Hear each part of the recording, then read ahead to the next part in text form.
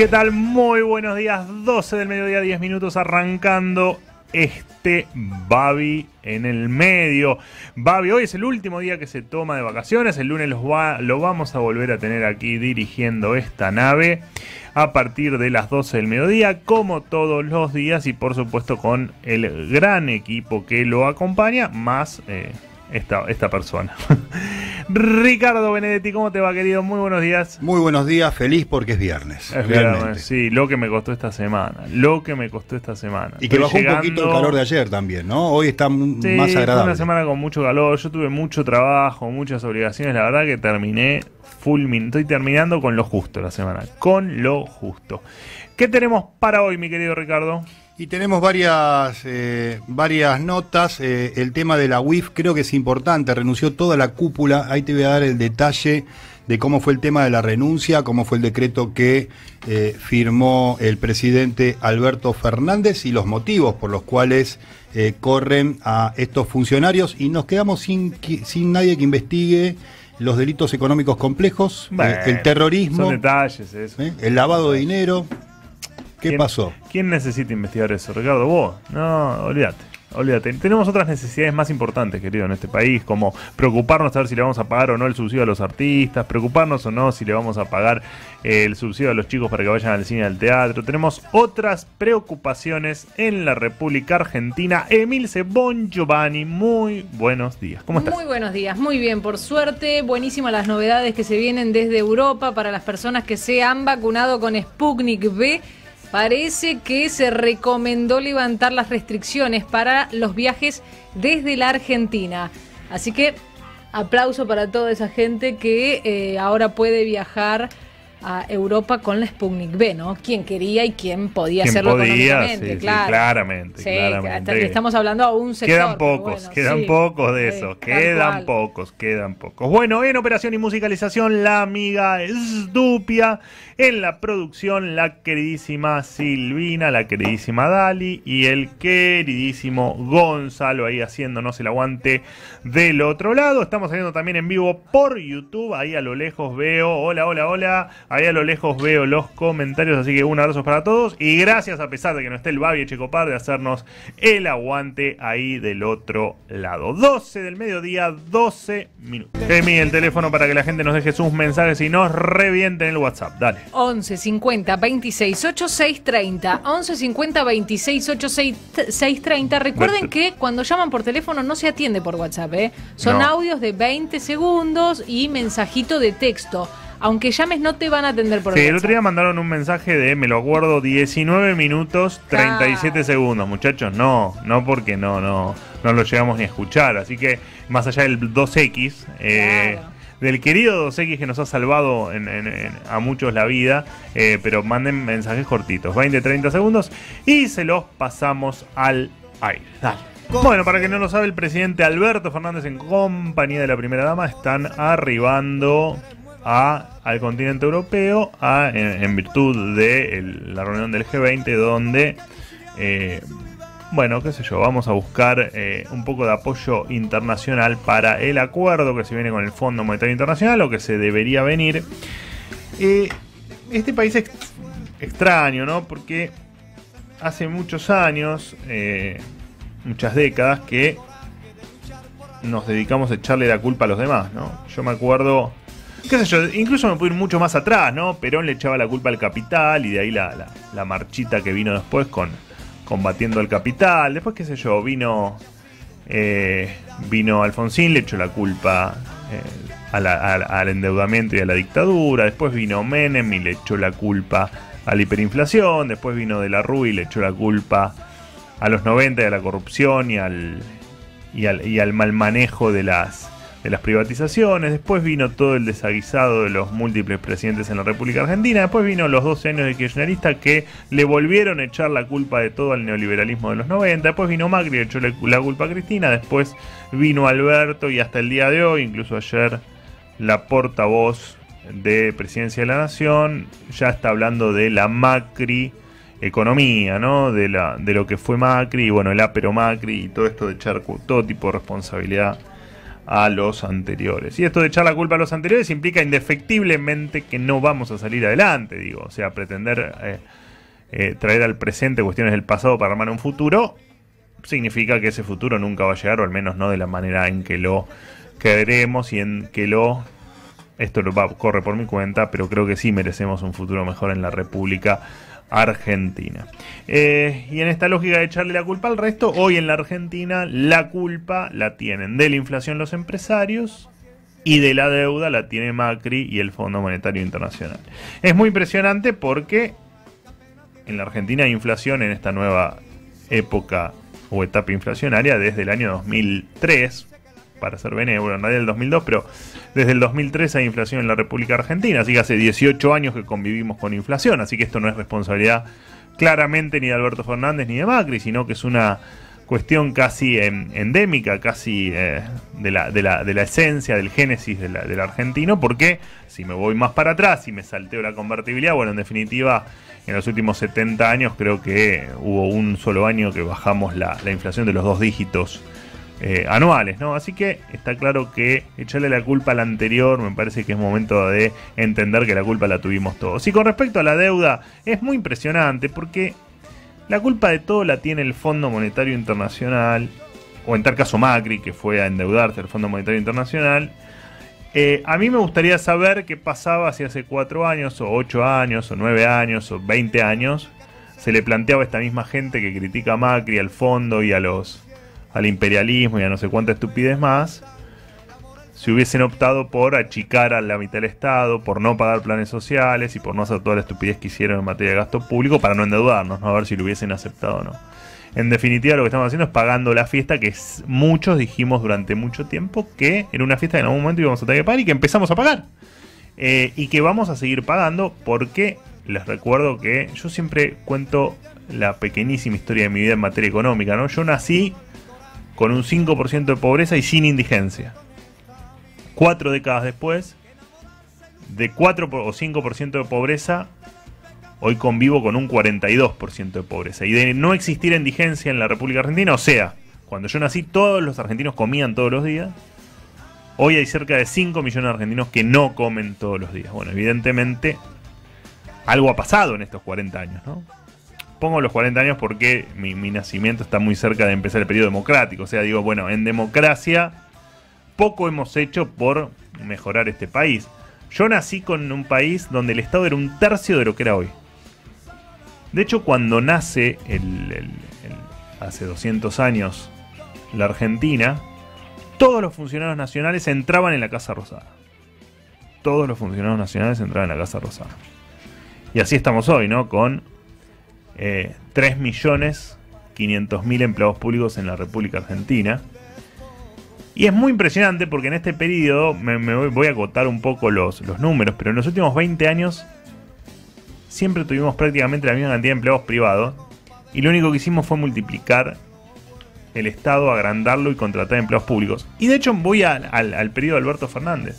En el periodo de Alberto Fernández se perdieron casi 100.000 puestos de trabajo en el sector privado y se ganaron, se crearon en el sector público cerca de 120 mil.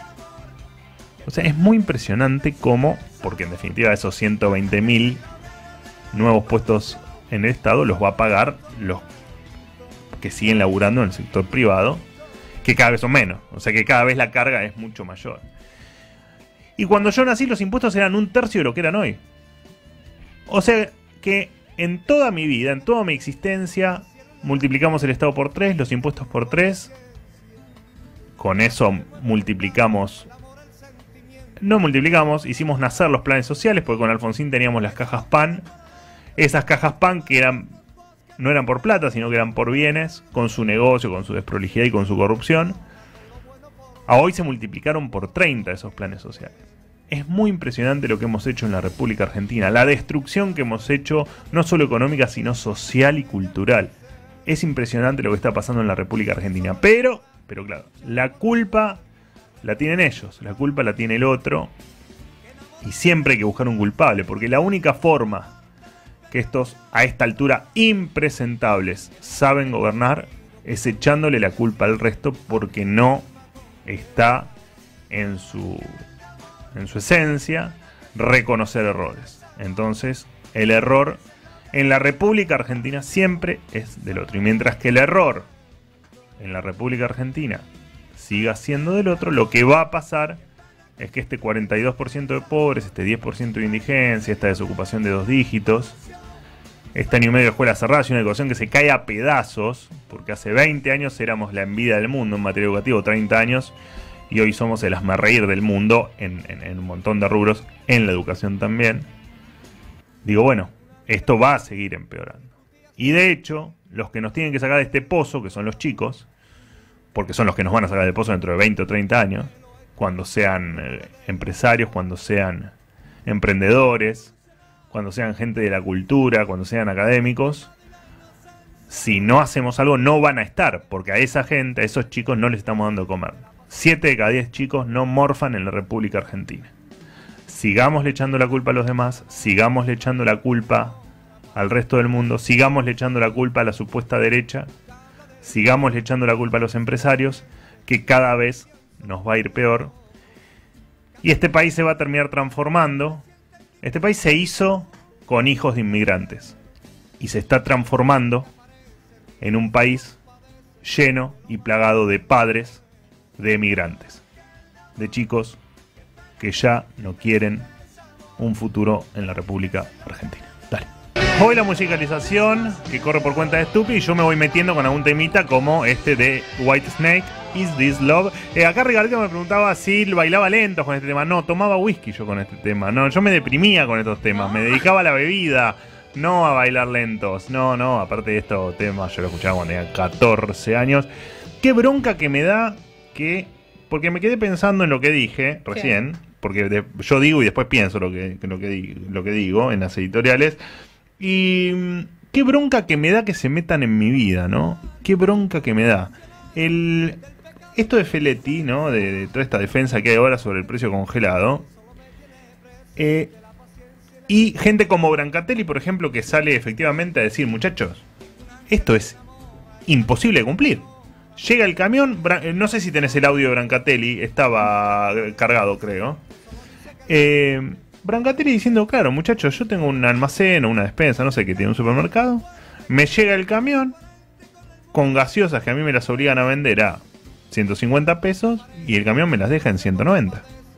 ¿Qué te voy a pagar? Los 40 mangos por. ¿Tenés el audio? A ver, dale, pasar. Gaseosa Cola, la más conocida del mundo. Sí. ¿Está? Precio máximo de la. Yo tengo frente a caseros de un ahorro, la aprovecho porque nos ha ayudado muchísimo. Digo, frente a la Plaza Caseros, un supermercadito chico. La, gaseosa cola esta de 2 litros 25 sale listado oficial del gobierno, precio máximo 199. Llega el camioncito, rojo, tutú para la puerta con la carretilla. ¿Cuánto te la vende al local? 208. O sea, vos la tenés que vender. es más caro lo que te la vende al comercio que lo que es el precio máximo. Si voy la gaseosa de litro y medio, que dice que tiene que valer 122, te la bajan a 150. O sea, ya está más arriba de lo que la que tenés que vender. Pero, perdón, y una cosa más, cierro, una cosita más, una cosita más. La marca de leche, la, la, más importante, la General Rodríguez, no entrega directamente. Bueno. Bienvenido al mundo real, Diego. La verdad es que me alegra mucho que después de haber eh, discutido contigo, eh, siempre en, al límite del respeto, eh, pero siempre con respeto en, diferentes programas, que finalmente cuando te, moviste de mostrador al, otro lado del mostrador, transmitas ahora realmente lo que le pasa a un montón de, de pymes, de comercios y, de, y también de grandes cadenas porque hay una fantasía con la rentabilidad de las grandes cadenas también, eh, de lo difícil que es, ya habías hablado de la contratación de personal y que ahora hables de los precios congelados y de la intervención del Estado en, el manejo de, los negocios de la gente, ¿no? Está buenísimo que gente pueda, que con llegada a determinados, a determinados sectores como, como Diego Brancatelli, pueda transmitir qué es lo que te pasa cuando sos un, un, comerciante, porque en definitiva está comerciando para tratar de sobrevivir, lo cual está muy bien. Eh, y viste, cuando tenés que ponerla de tu bolsillo, cuando tenés que llegar a fin de mes y pagar los sueldos, cuando tenés que llegar a principio de mes y pagar las cargas sociales del mes anterior, cuando tenés que comprar productos y tratar de sacar un beneficio para pagar todo eso, y además que te quede algo para morfar Viste qué diferente que se ven las cosas, ¿no? Eh, me preocupa que el gobierno no se dé cuenta de eh, este caldo de cultivo que están preparando que puede llegar a ser explosivo para luego de las elecciones. Podemos llegar a tener un fin de año eh, la verdad que no, no, quiero usar la palabra trágico, pero no, no encuentro otra como lo tuvimos en el, en el 2000, 2001. ¿Y por qué? ¿No? Hay, hay, algunos, hay algunos datos a tener en cuenta. El tema de la imposición de, de precios para ciertos productos que forman parte de la canasta básica, el desabastecimiento, como el mismo Brancatelli decía, ¿no? Porque no va a comprar para su mercadito una mercadería que no puede venderla más, más, más bajo de lo que él la compra, de lo que él la paga. Y de hecho va a haber desabastecimiento. Es, el ABC, digamos, de la supervivencia. Sí, totalmente. O sea, el reclamo de algunas agrupaciones piqueteras que eh, ya, ya no es plan, ya, ya están pidiendo eh, eh, productos dentro de los bolsones de alimentos que le entregan. Que, les, que se, lo escuchamos todos, fue muy famoso lo que dijo del, un, referente del polo obrero. Vienen seis productos, venían más productos con Macri en el bolsón de alimentos. O sea, eso ligado a, al echar culpas del empresariado por el tema de precios, es un combo explosivo. ¿Con quién se va a quejar? Vos imaginate todas estas variables juntas y eh, grupo de gente con hambre, porque hay, si hay 5 millones de personas que no comen todas las comidas de todos los días. Bien, 5 millones de personas. Fíjate vos la cantidad de personas que en un momento de desesperación, porque no tienen ese alimento, no solo para ellas, sino para su familia, con desabastecimiento, porque ni siquiera teniendo el dinero pueden llegar a acceder a algunos productos, esta empresa láctea no está entregando todos sus productos, ¿qué hace si no tiene comida? O sea, tiene que ser más responsable el gobierno. Eso de echar culpas al empresariado, ¿con quién se la va a agarrar esta gente que en desesperación no piensa bien, no? Eh, eso es lo que yo me pongo a pensar. Hay dos cadenas que están en la, si se quiere, en el ojo de la tormenta del gobierno, que son los que a los que acusan, que es una es Coto y otra es Walmart. ¿no? Esas son una de Narváez la otra de Alfredo Coto. Eh, más allá de que uno pueda tener críticas en cómo se manejan los empresarios en diferentes cuestiones, porque uno los puede criticar, como critico al gobierno, puedo criticar a los empresarios. Pero lo que digo es, muchachos, Walmart está en, no los conté, pero en al menos 100 países alrededor del mundo. Al menos. Y en casi todos los países limítrofes. Digo, ¿en cuál tienen, en cuál tienen aumento de precios? Constante como en la Argentina. En ninguno. Ahora, el problema de quién es entonces, ¿de Walmart o es el argentino? ¿Sabes qué? Y, a, y Coto, en el Coto, en los 90, también estaba Coto, muchachos. En los 90 no había aumento de precios. También estaba Walmart, ¿no? Que se, se, instaló junto con otras cadenas, una francesa, eh, se instaló a principios de los 90. Y no había inflación, muchachos. Que se hicieron malo en estos últimos 30 años qué sé yo, muy rara la teoría del gobierno, ¿no? Muy raro. Bueno, para hablar de este desaguisado y delirio argentino y por supuesto también un poco de política en su calidad de, ya a esta altura entiendo, futuro diputado nacional, estamos en comunicación con Javier Milei. Querido Javier, ¿cómo andas, querido? ¿Qué tal, Manuel, querido? Muchísimas gracias por por llamarme en tu programa y además quiero felicitarte fuertemente por el tweet que has publicado en el día de hoy, que desde mi punto de vista es el mejor tweet que leí en los últimos seis meses y que deja en claro que el futuro de Argentina es muy sombrío, porque si nos estamos endeudando para poder comer, siendo que el, el, el endeudamiento es postergación de consumo futuro, o sea, hay que ahorrar en el futuro para pagar esa deuda y además no se está invirtiendo porque se estimula el consumo y se castiga el ahorro. esto quiere decir que en el futuro habrá menos ingresos, habrá menos fuentes de trabajo, habrá menos productividad, habrá menos salarios reales y cuando se tenga que generar el ahorro para cubrir esas deudas, o sea, digamos, esto va a terminar en una batalla campal porque los acreedores van a querer cobrar y los consumidores no van a poder pagar porque no pueden ni siquiera comer.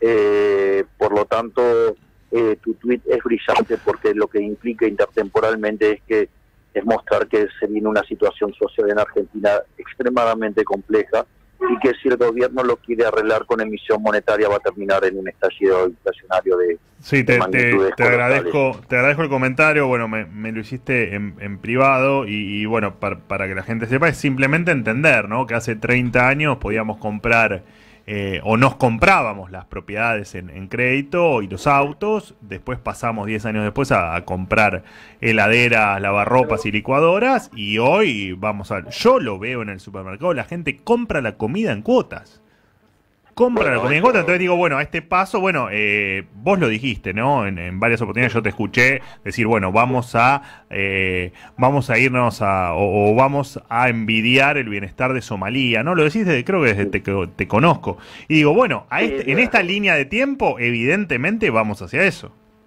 Está claro, digamos, por eso cuando uno hace el análisis en términos intertemporales de la, de la reflexión que vos hiciste es el, futuro va a ser muy duro. El futuro, digamos, es si no hacemos un cambio de 180 grados, Argentina se convierte en la villa miseria más grande del mundo. Suponiendo que se repita el resultado electoral, ¿no? Esto de. Eh, el resultado electoral me refiero a nivel nacional, ¿no? Eh, eh, ¿Pensás que después del 14 de noviembre, indefectiblemente vamos a ir a un gobierno un poco más racional? ¿Crees que vamos a ir a un gobierno mucho más radical? ¿O crees simplemente que esto se va a arreglar por las malas, como ha pasado en, otras oportunidades, qué sé yo, el 2001 o el, el, 89-90, y que, eh, que, bueno, que vamos a pasar tiempos complicados porque esta gente no va a entender razones? ¿Qué, qué, qué escenario te imaginas a partir de, del 14 de noviembre? Yo creo que inexorablemente esto termina muy mal. O sea, y, y no hay forma que determine de otra manera. A ver, Argentina tiene un desequilibrio fiscal propio de las grandes crisis de la historia argentina.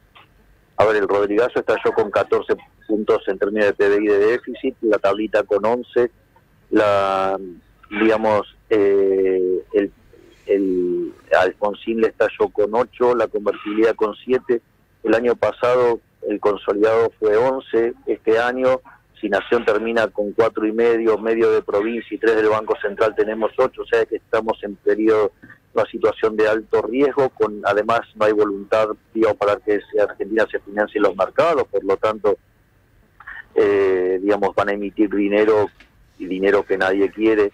Además, el desequilibrio monetario es de 10 veces a 1, por lo tanto hay una inflación reprimida de por lo menos 900%. Además, o sea, este desequilibrio es aún mayor que el que teníamos previo al Rodrigazo.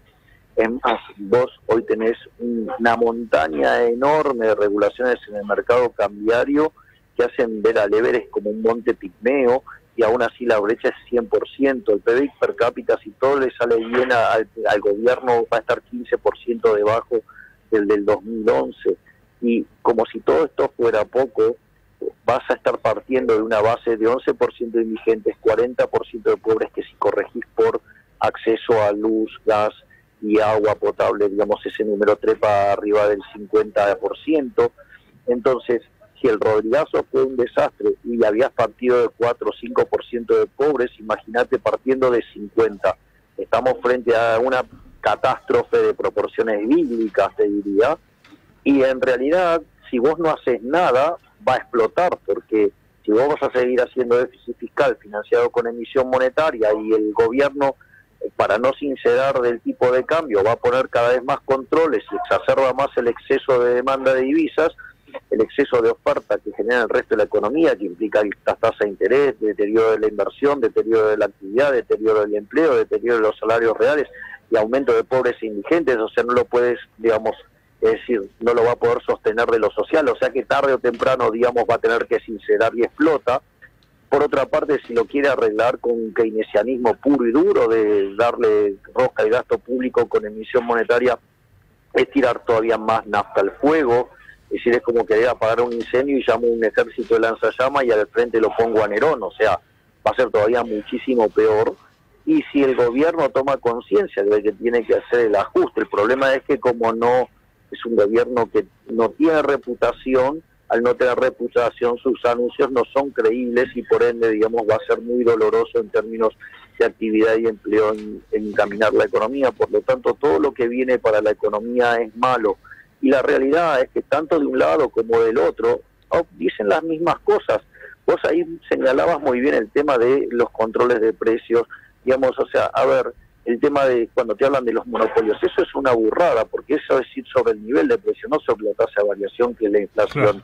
Ahora, y vos muy bien señalabas, las empresas que vos tenías en los 90 eran las mismas que ahora y no había inflación, y esas empresas están en otra parte del mundo y no hay inflación, o sea, el problema es el Banco Central, es la emisión de dinero, ¿sí? Y si vos te fijás, vos podés decir, ah, ok, bueno, el gobierno adhiere a esas estupideces, bueno, pero la reta también el otro día dijo que el problema eran los monopolios y que la inflación era un problema multicausal. De hecho, cuando digamos fue gobierno viral, dijo, salió a escrachar empresarios.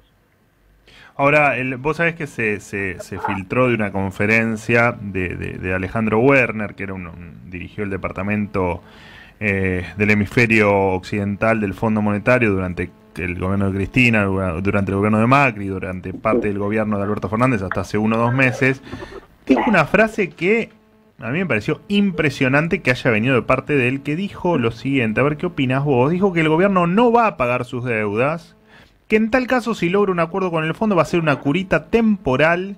Y dijo, que es lo que más preocupa me parece eh, con la historia argentina a los argentinos, dijo, y la Argentina se encamina a una corrida bancaria. No lo dijo cualquiera, más allá de que uno le pueda gustar más o menos eh, eh, por haber sido un burócrata del fondo, pero digo, eh, ¿qué, ¿Qué opinas? ¿Puede efectivamente generarse una corrida bancaria en la Argentina? A ver, yo creo que Argentina, digo, vos para poder repagar la deuda tenés que tener dos cosas. ¿Sí? Una que es condición necesaria, que es tener solvencia fiscal. Para eso tenés que tener superávit primario. Argentina ni siquiera lo tiene. O sea, con lo cual no, no, cumple ni la condición necesaria. ¿Y por qué es condición necesaria y no suficiente? Porque además tenés que tener el willing to pay.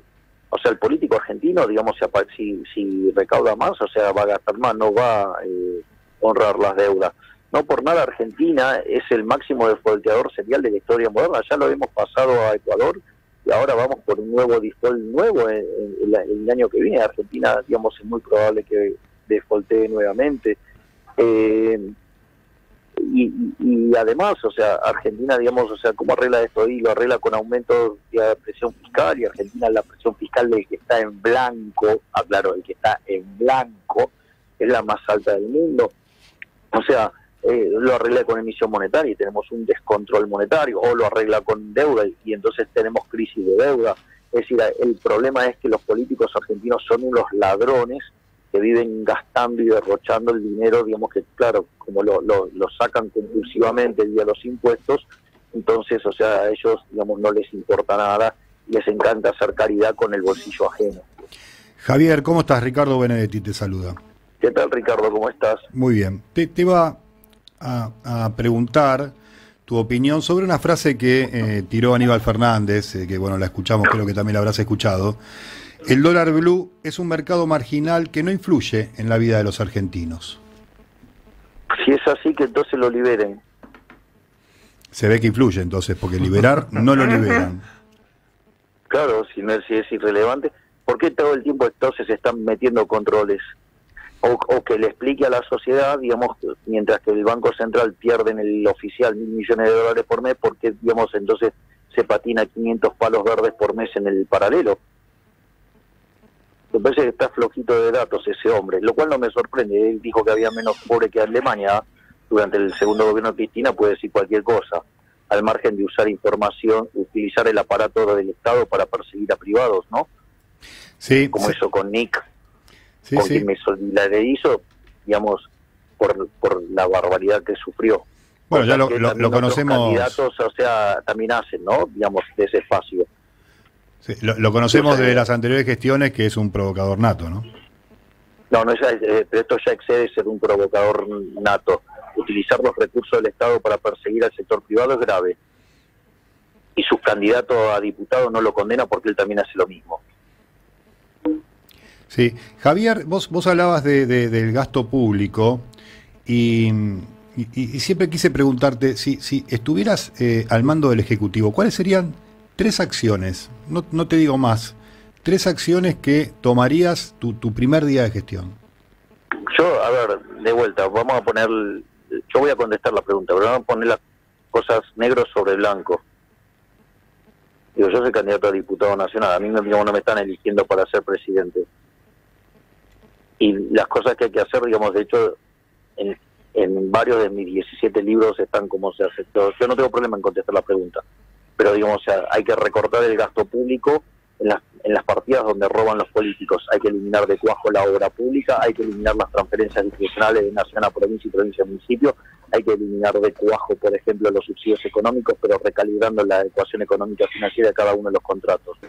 Con eso tenés 10 puntos del PBI, puedes empezar a bajar impuestos y a partir de ahí, digamos, bajas impuestos que le quiten carga la oferta de la economía y puedas motivar el proceso de inversión, como por ejemplo eliminar el impuesto a las ganancias sobre las ganancias reinvertidas, entre otras cosas.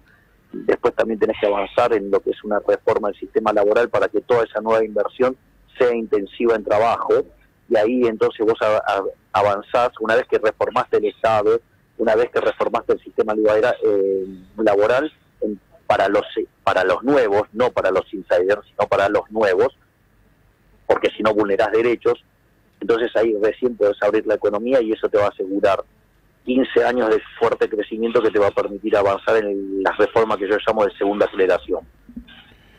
Javier, eh, esta semana o hace 10 días estoy notando con algunos temas que vos venís eh, definiendo o tomando posición desde hace muchísimo tiempo.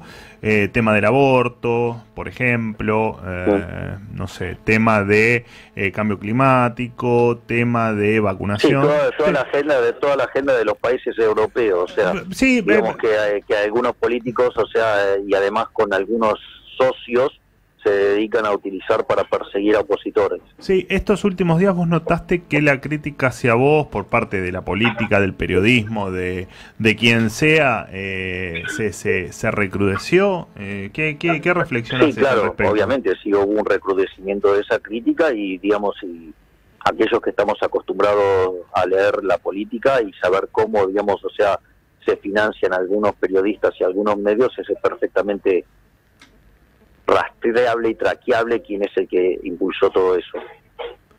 Bien, hoy, hoy por supuesto hay algunos medios a los que no tenés acceso, por lo que interpreto. No, hay algunos lugares tengo acceso, pero digamos algunos eh, están operados y básicamente me invitan para agredirme. Claro. Eh, bueno, vos sabés que va, efectivamente el 10 de diciembre vas a asumir como diputado nacional, está claro, porque los números así lo, lo indican. Eh, tenés un objetivo más ligado a que efectivamente puedas promover proyectos de ley en, base a las, ideas tuyas y que, efectivamente se conviertan en una realidad o tenés una idea más de divulgar ideas y que sea más una, una banca, si se quiere, no tanto para promover los proyectos de ley, pero sí para eh, pensar en el futuro de un Congreso o trabajar para un Congreso en el futuro con, con, mucha más gente eh, partidaria de tus ideas? A ver, yo digamos lo que estoy proponiendo a la sociedad es una, una forma de encarar la política desde una perspectiva moral. De cosas que no voy a hacer. Por ejemplo, no voy a subir los impuestos, no voy a crear nuevos impuestos, no voy a ir contra la vida, no voy a ir contra la libertad y no voy a ir contra la propiedad. Si vos querés, del otro lado están todos los demás. Digo, a ver, digamos, ¿quiénes les voto las leyes? Digamos, a ver, hay leyes nefastas como la ley de alquileres. No es que directamente la mandaron los kirchneristas, la mandó junto por el cambio. O la ley de góndolas, que es un avance sobre la propiedad privada. El propio Larreta dice que, bueno, los controles de precios hay que hacerlos de buena manera. O sea, no, los controles de precios no funcionan. La inflación no es multicausa, es un problema monetario. ¿Me comprendés? No, no, por eso, pero el, el, este, los problemas están de los dos lados. No, por eso, pero entendiendo que, van a evitar el kirchnerismo, en realidad en realidad son tan quiseristas como los otros, la, la, diferencia son los buenos modales. Los únicos que verdaderamente podemos pagar al quiserismo somos nosotros, que somos los únicos que nos ponemos de frente y le decimos toda la cosa que hay que hacer y no le vamos a probar nada, al margen de que no chateamos con, con Máximo Kirchner como la señora Vidal o que tampoco somos amigos de masa como el señor Larreta. Y por ejemplo, otro que, que, probablemente sea diputado, que va a ser eh, Ricardo López Murphy, a quien eh, entiendo que vos, a lo mismo, lo mismo que yo, lo, le, tenemos un gran aprecio y afecto, ¿Crees que va a actuar, digamos, en, bloque de acuerdo a Juntos por el Cambio o crees que realmente pueda, pueda unir fuerzas con, con vos o con, con el resto de los liberales como para empujar un poco algún, algún cambio un poco más profundo? no me importa lo que haga porque yo voy a hacer una, una- un planteo moral de la política. Y él eh, hoy es un empleado de la reta. Bien, bien, bien, bien. Eh, la última, Javi. Eh, sé que es una elección legislativa, sé que en definitiva las decisiones por dos años más las va a tomar el presidente, eh, o las va a seguir tomando el presidente, para bien o para mal. Eh, dos o tres funcionarios que serían los primeros que echarías del gobierno nacional. No, es algo que no me corresponde a mí. Javi, mil gracias por la nota. Te mando un abrazo grande, lo mejor. Sabes que siempre te deseo lo mejor. Eh, y bueno, ojalá que, que- que a partir del 10 de diciembre te, te estemos entrevistando ya como, como, como diputado, eh, ya ocupando una banca en el Congreso Nacional. Muchísimas gracias, Manuel. Siempre es un honor enorme tener la posibilidad de interactuar contigo y en especial el gran honor de ser tu amigo. Querido, abrazo gigante. Abrazo. Javier Milei, economista, candidato a diputado nacional. 13 horas, 3 minutos.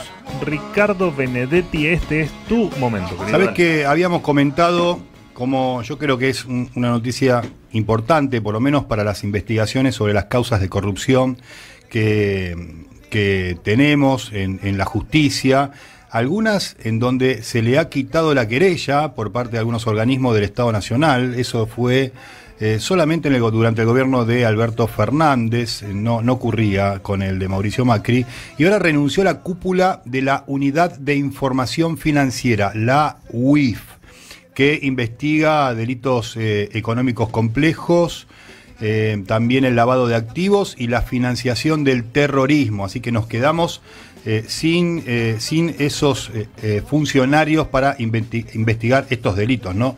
Tan sensibles al funcionamiento de, de un país. ¿Quién es el titular?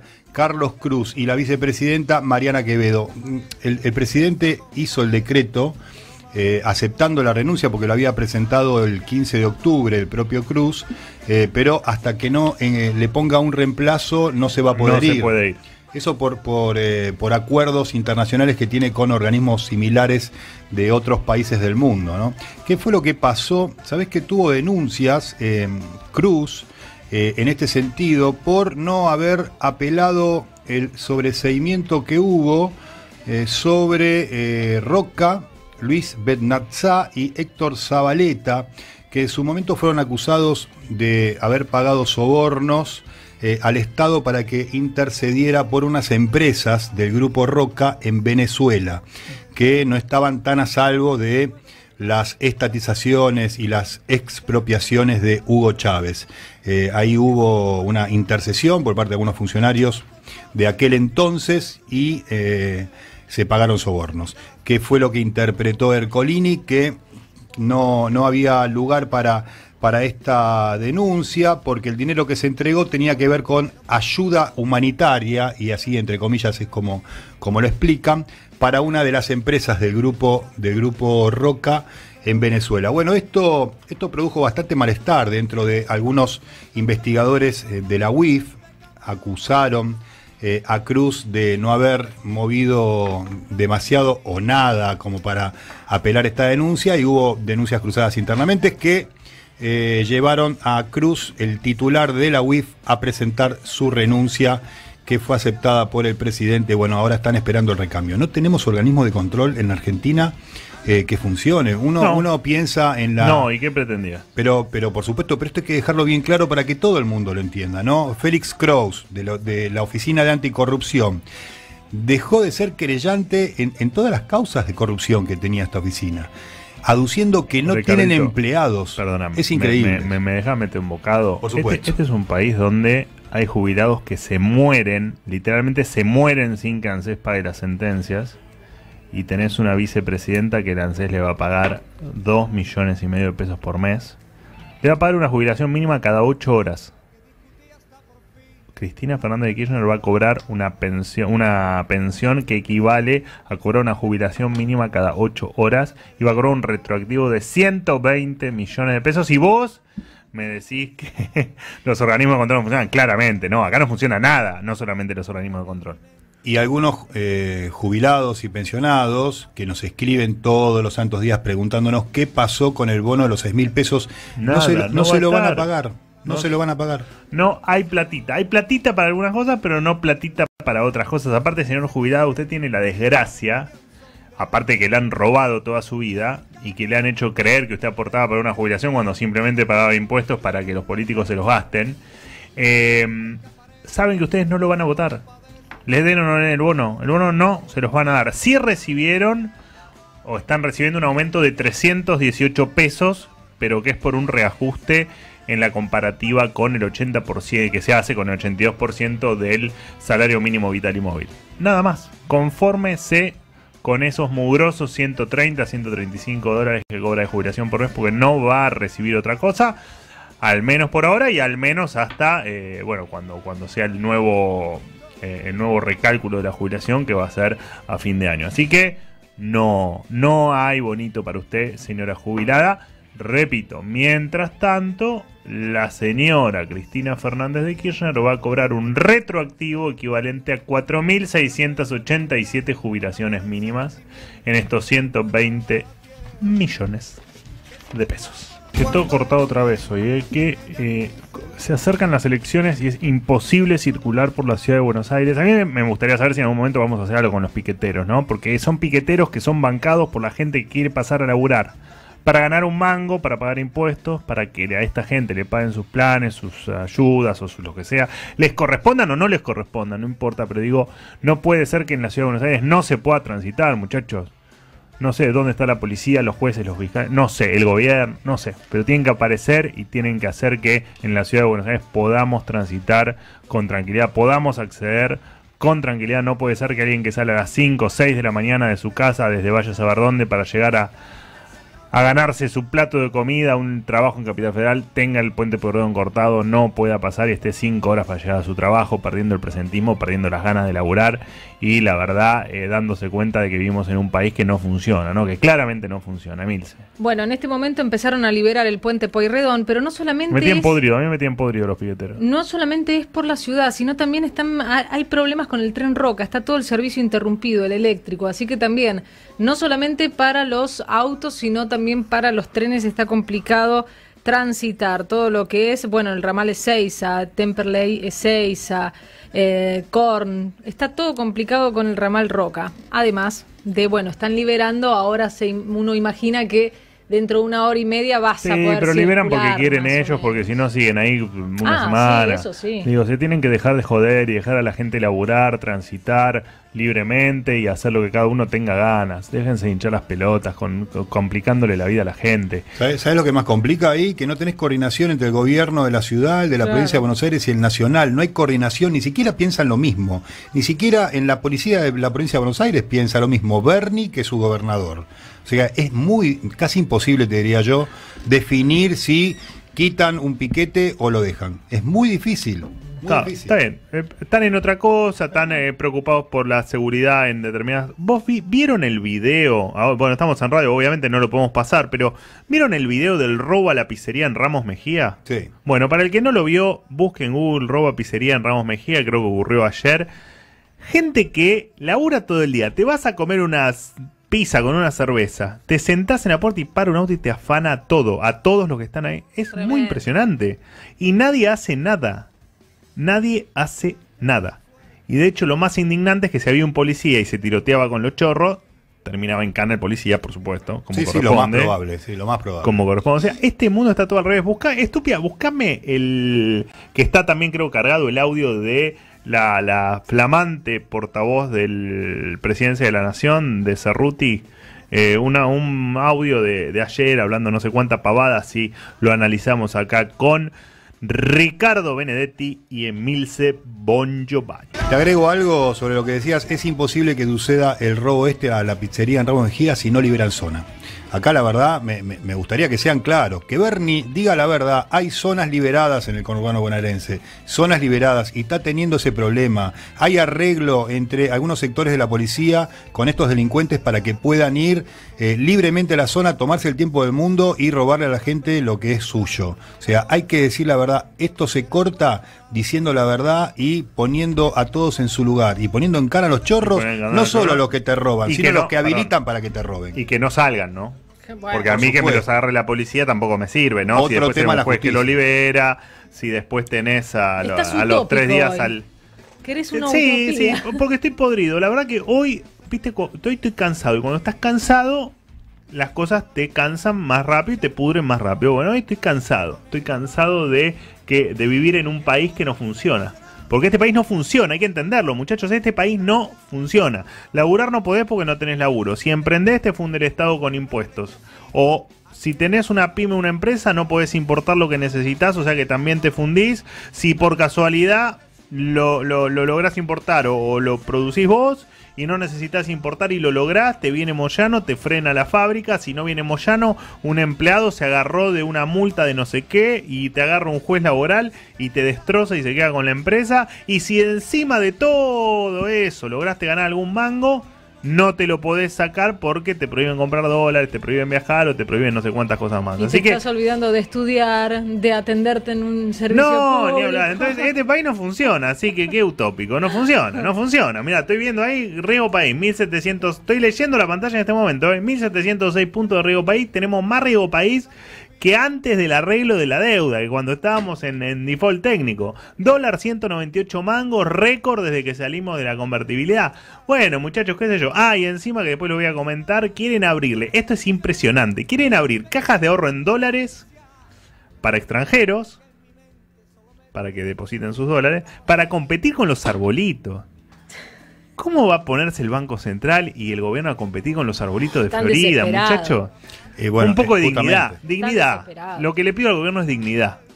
Eh, eh, desesperación para que ingrese dólares de alguna manera. Tenés el, el audio de la portavoz del Presidencia de la Nación, que como bien dijo ella, no es la portavoz del presidente, sino que es la portavoz de la coalición gobernante. Dale.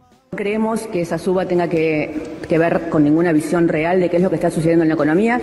Antes bien, la economía está creciendo, se está expandiendo, está avanzando, salimos del momento de la pandemia, estamos este, estando en números similares prepandemia, pero además en muchos casos estamos recuperando números previos incluso a la crisis que dejó Mauricio Macri y el macrismo económico. Entonces, no, no creemos que eso responda a ninguna de esas variables. Bien, por el contrario, entendemos que están creciendo las reservas y que se está este, marchando a una estabilización de todas las variables de la economía que no tienen ninguna razón para que nos preocupemos sobre el tema. No hay ninguna posibilidad de devaluación. No agiten ese fantasma porque no va a suceder. No hay ninguna posibilidad. Gabriela, Gabriela Cama Noladorni te saluda. Eh, mira, parece un stand-up del canal ese Comedy, no sé si sigue existiendo el, el canal Comedy donde están los stand-up uno tras otro. Eh, a mí me parece impresionante, primero la definición de la eh, macroeconomía, ¿no? Me parece que es la nueva definición que se viene, no sé qué opinás Ricardo, de eh, el A pero Macri no funcionó, van por la definición de macroeconomía. Esta es la macroeconomía, o es lo que se plantea desde la macroeconomía. Bueno, muchachos, ya fue Macri, ya está, hizo 10.000 cosas más, sí, hizo un desastre, sí, pues ya está. ¿qué? Cuando, cuando decíamos que el, el discurso y la estrategia electoral iba para su núcleo duro, ahora estamos hablando de que este discurso va para el, el núcleo chico del kirchnerismo, ni siquiera para el núcleo duro de votantes. Para la familia de ella, ¿no? Sí. Solo para, solo para el núcleo chico de Cristina y el Instituto Patria. Nada más que para ellos. Otra cosa eh, le quería comentar, Gabriela. El tema de la recuperación económica que en niveles, eh, en el nivel general efectivamente volvió a niveles previos a la pandemia. Lo cierto es que es bastante heterogéneo. De hecho, desde que Alberto Fernández asumió, en la contabilización de pobres tenemos 2.600.000 pobres más que el 10 de diciembre del 2019. Y tenemos 1.300.000 más indigentes que los que teníamos el 10 de diciembre del 2019. Así que eh, lo cierto es que, en, números para que a la gente se asuste más, son unos casi 4.000 pobres por día que han generado este gobierno y son casi 2.000 indigentes por día que han generado este gobierno. Así que eh, hay que empezar a entender que cuando tenés una inflación del 50%, cuando no tenés generación de empleo y cuando tu bolsillo es cada vez más flaco, bueno, hay números que hay que hablarlos de manera un poco más amplia, ¿no? Y también recordemos que muchas empresas, muchas industrias, tienen terror a lo que ustedes puedan hacer, por lo tanto han anticipado importaciones, porque el, dato que usted se refiere es a septiembre, han adelantado importaciones, han adelantado producción y se han puesto a producir todo lo que pueden para estoquearse porque no saben lo que viene, porque no saben si ustedes les van a seguir poniendo más restricciones, más controles. Entonces, lo que hacen precisamente es eh, o, está inflada parte de esa actividad económica, además que no fue heterogénea. Aparte nos tuvieron encerrados un año y medio, está claro que cuando uno abre, la, abre la, la, movilidad y abre todas las actividades, está claro que va a tener un rebote, digamos. Eso lo pasó en todas partes eh, del mundo. No sé si hay otro país en el mundo donde podamos observar el nivel de pobrismo o empobrecimiento que se ha hecho en tan corto tiempo, ¿no? Los datos de pobreza de este gobierno son impresionantes. Impresionantes lo que han hecho. Es cierto, señora portavoz, tienen una ventaja ustedes. Ustedes lo avisaron. Ustedes dijeron a nosotros 10% más de pobres no nos importa. Qué temazo, eh, Samurai, qué temazo, Samurai. Me pegó la nostalgia, te diré, eh. Mi época de adolescente, preadolescente, con esta música ochentosa. Temazo, temazo, temazo.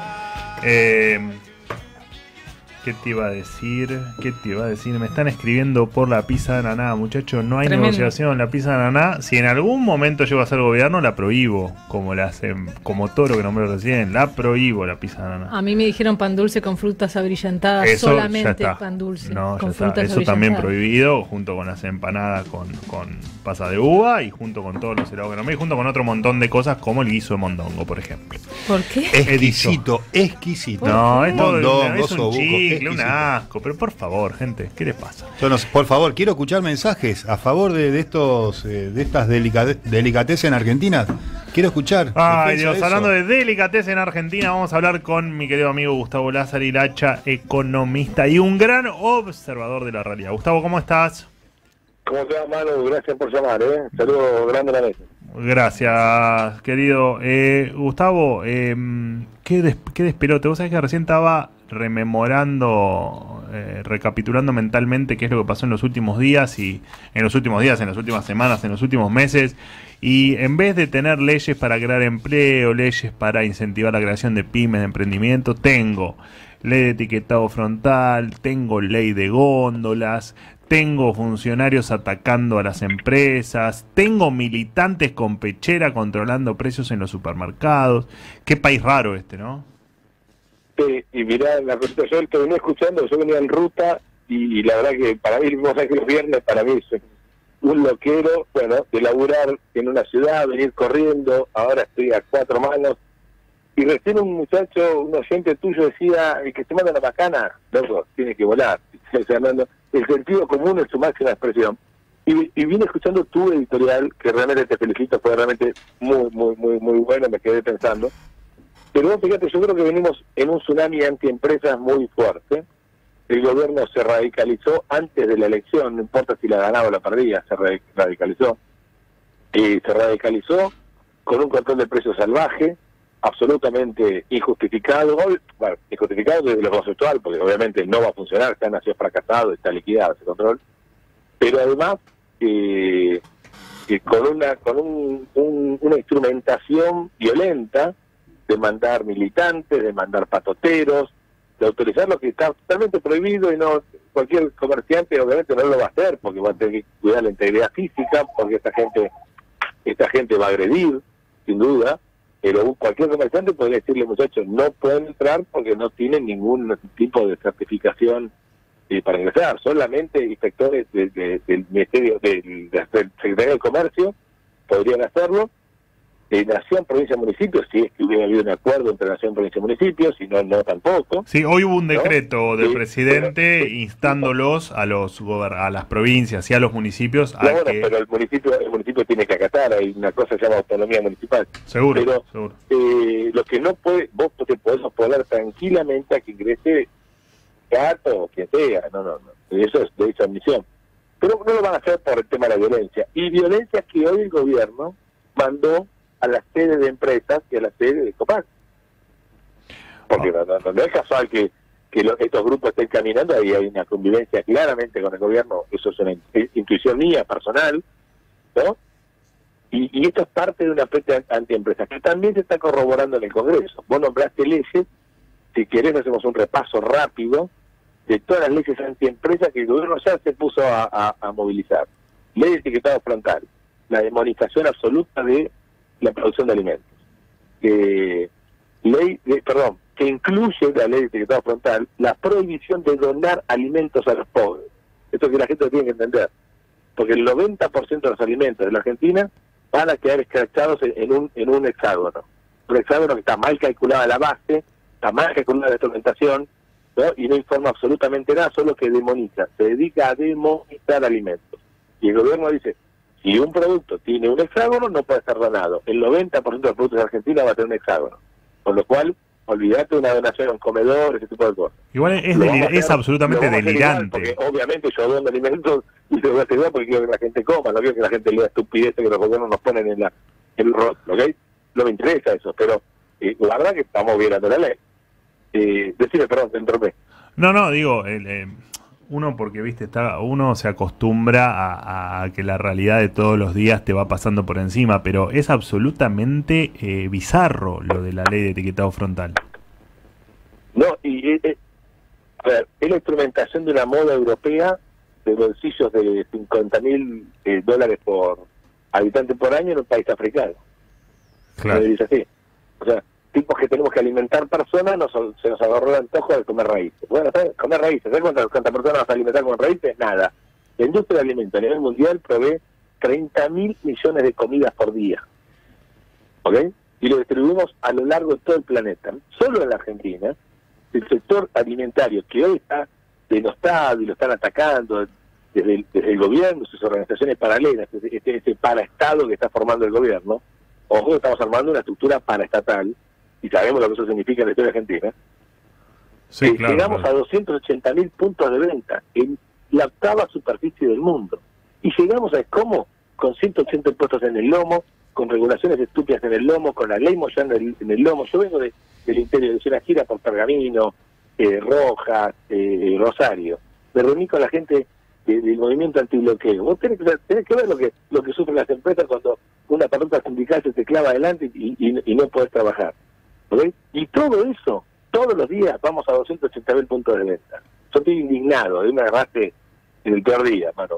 Pero realmente estoy caliente como una pava porque eh, hay un dicho de Ortega y Gasset que dice que la masa desesperada cuando busca pan suele destruir panadería. Esto es lo que está pasando en Argentina. Ahora, Escuché atentamente el reportaje a Javier. Se viene un- un- un- un futuro muy sombrío, no no exento de violencia. Ahora, eh. Gus, bueno, ahí justo me está escribiendo Horacio Cava, te mando un abrazo grande a la distancia. Eh, Gus, eh, ¿a qué, a qué le vos sos, bueno, yo tu historia la conozco, sos un, un industrial, con, con una, tenés una pyme con 40, creo que me habías dicho, 40 y pico de empleados. ¿Cuál es tu miedo hoy, tu principal temor de lo que venga en la República Argentina? ¿A qué le tenés miedo? Mira, a ver, eh, son muchos, ¿no? Para, miedo significa no... Miedo que enfrento, o sea, no, son miedos que le arrugo.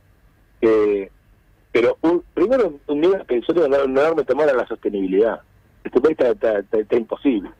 Hoy, hoy los estados, el Estado Nacional, Provincial, Municipal, sacaron todos los perros a la calle a cobrar lo que encuentran desaforados como, como en la sabana africana cuando salen los leones, la hiena, todos juntos, eh, a cobrar las multas del pasado, a cobrar multas del presente y deudas del presente, y, y, el multerío, yo estuve en Rosario y, en, perdón, en Pergamino, pero es un estado policial, no puedes parar un minuto a, a nada, que te clavan dos multas. O sea, tan- Al- Alberti decía, cuando todo está prohibido, la multa es un impuesto. ¿Ok? ¿Qué hacen? Prohíben todo, luego te puedes coger y cada movimiento es una multa, obvio. Y la ciudad de Buenos Aires es otro ejemplo terrible de esto. Entonces, salió entonces una situación a exprimir al sector privado. Y le tengo enorme temor que lo vamos a enfrentar y la vamos a ganar, no importa. Yo soy de Chicago, mano, así que. Pero al- eh, hay un ataque frontal a, a la empresa. Y tengo un enorme temor a la hiperinflación. Y están haciendo todo lo posible para que suceda. O sea, me sorprendería mucho que no suceda. Realmente tendría que repasar los libros. O sea, agarrar los libros y que lo que están emitiendo, lo que van a emitir y, y las barbaridades que hacen, y les espanta la inversión que están haciendo, el que invierte la Argentina está demente, o sea, tiene que ir al psicólogo antes de ir a, a hacer el plan de negocio. Eh, me parece muy impresionante. Te nombro cinco o seis leyes que están hoy en el Congreso. Licencias parentales. Eh, ley de la que nombraste vos ayer. Sí, la de eh, envase sustentable, una Sí. vergüenza. Eh, inclusivos, ¿no? Envases envase. inclusivos. Bueno, la ley de envases, donde cuál la culpa de que es un papel en el piso es de la empresa. A ver si entendemos esto. Es el concepto. El concepto, la ley de humedales. Si fuera por la ley de humedales, Holanda estaría abajo del agua. No podés canalizar porque lo consideran un humedal. Y en términos de producción, si se cumpliera la ley de humedales, es mucho más gravosa que la retención. Porque te destroza, te, te destroza la, la, la producción agropecuaria. Están, ahora están en, en, en, en, en la zona de Italia con el tema de las vacas. O sea, están en contra de lo que Ahora, ¿a qué se debe? Les ¿Estupidez? molesta a- trabajo, les molesta la producción. Ahora. ¿a qué, ¿a qué se debe? ¿A ¿Ideología, estupidez, negligencia, odio, be- be- be- no sé, Yo ignorancia? En el, en el caso en el caso argentino se debe a eh, parásitos que viven del no esfuerzo. Entonces vos a estos pibes, estos pibitos que hoy hablabas, eh, vos decís, ¿cómo llega un churrasco a tu mesa? Y llega porque la vaca es generosa y lo tira. No importa la cadena de producción. ¿Ves? Eso es que el pan viene solo. Que vos subís crece el pan, no, no hay una cadena de demolienda, de traslado, de transporte, no, no, no hay gente que labura. Deberían leer el artículo yo el lápiz. Y hay un desprecio brutal al sector privado. Ellos creen que la gente, yo creo, creo que no. A ver, lo que ellos quieren es una Argentina dependiente del plan, punto. Y que todos los jubilados ganen 100 dólares como están ganando. Y los planeros ganen 50 dólares o 100 dólares más. ¿Ok? Entonces, a eso, y extrayendo el sector privado, confiscando vaca muerta, capaz que un par de años tira. Y todos estamos dependientes de eso. Y cuando hay elecciones, ni se calientan porque van a tener que votarlo. ¿Ok? Eso tiene esa Argentina, no Argentina de gente que sigue transpirada a la casa y le diga a los hijos, acá está la comida que papá trajo a la mesa. Eso quieren que en el imán de la ladera estén las fotos de los políticos. Y la gente se tatúe el político. Yo me vuelve loco cuando veo eso. Yo que la gente se tatúa el padre y la madre, como el Pipi Romagnoli. Gustavo, Eh, sí. ¿sabes qué? Vos mencionás, ¿cómo estás? Ricardo Benedetti te saluda. Ricardo, Eh, ¿qué tal? muy bien. Eh, el kirchnerismo hasta hizo que te clausuren el estadio de tus amores. Eh, tremendo lo que te pasa. eh, con- Sí, una cosa. Más piedra no ser. No ganamos más. que- imposi- que- imposible, que- imposible. Que estoy Chicago, sí. Sabes que eh, hace un ratito eh, entrevistábamos a, a Javier Milei y, y Manu Sí. le preguntaba sobre qué relación podría tener con Ricardo López Murphy en la Cámara. Y dijo que ninguna porque eh, López Murphy ahora es un empleado de la reta. ¿Qué, qué opinas sobre esto? Ah, a ver, lo, tomo como, perdón, ¿eh? expresión de campaña, ¿no? Es una, eso es una triste declaración, no puedo decir eso de López Murphy, y yo no podría decir eso de un adversario político. No, no, eh, a ver, la Argentina tiene problemas serios, Eh, estamos en problemas serios.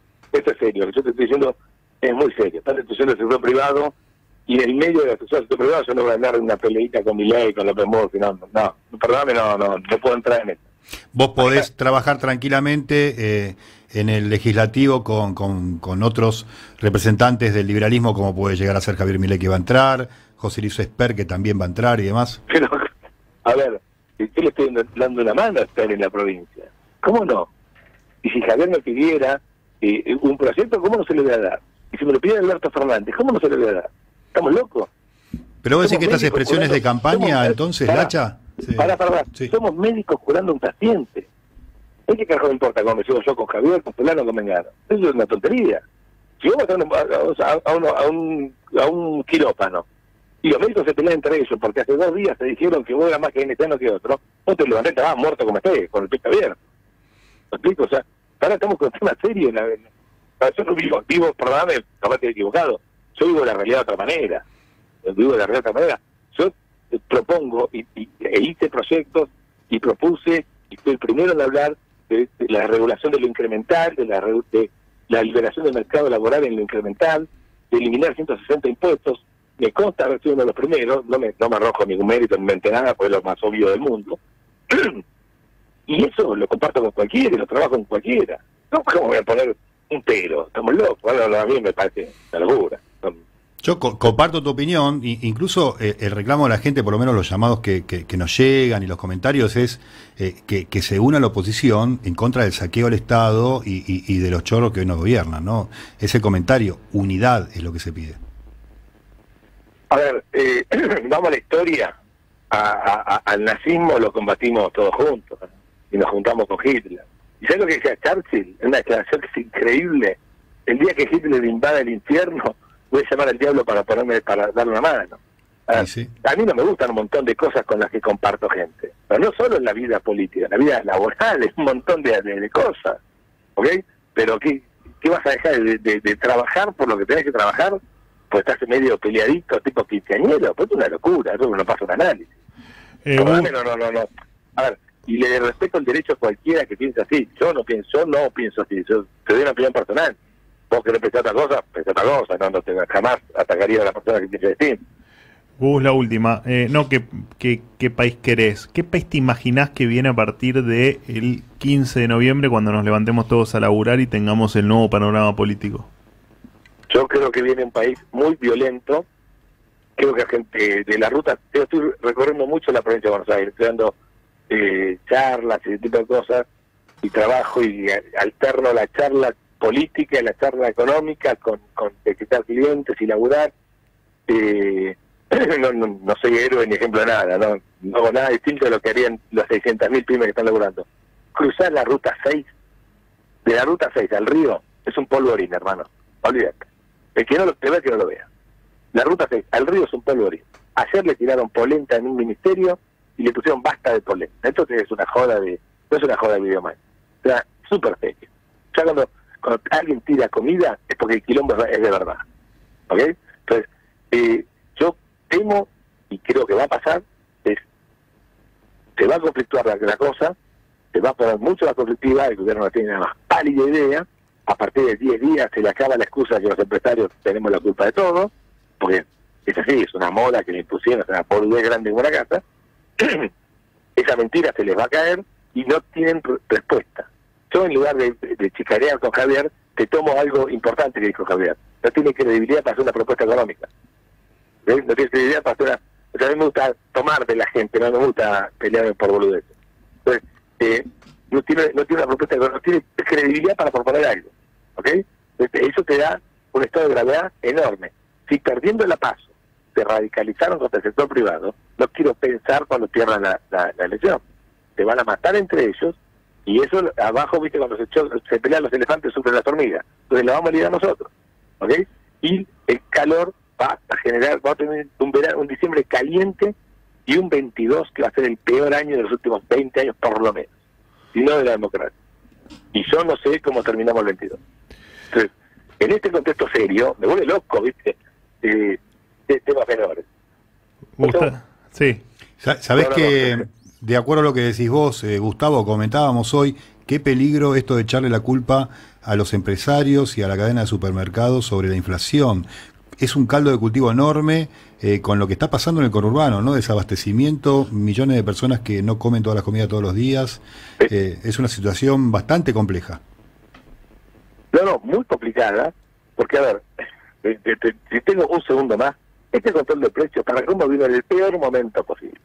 Cuando estaba empezando a levantar un poquito la actividad y las empresas empiezan a ser las grandes, no los chicos, los piojitos como yo no, nosotros la, la remamos todos los días, pero las grandes empiezan a hacer sus proyecciones, ver cómo cierran el balance, ahora cierran todos los balances mal, todos los balances con contingencias altísimas, el dólar blue se dispara por el control de precios, porque la- el control de precios fue la señal de que no tienen la más pálida idea, y voy a decir una mala palabra, la, la menor idea, entonces, si no tenés la menor idea para resolverlo, te refugio. Es una cosa lógica de los tipos que administran riesgo. Todas las personas hoy que tienen 200 pesos ese tipo tiene más para la idea, bueno, yo los 200 pesos lo cambio por un dólar, obvio, ¿ok? Entonces, eh, y llegó en el momento en el que empezamos quizás a, a ver cómo levantar.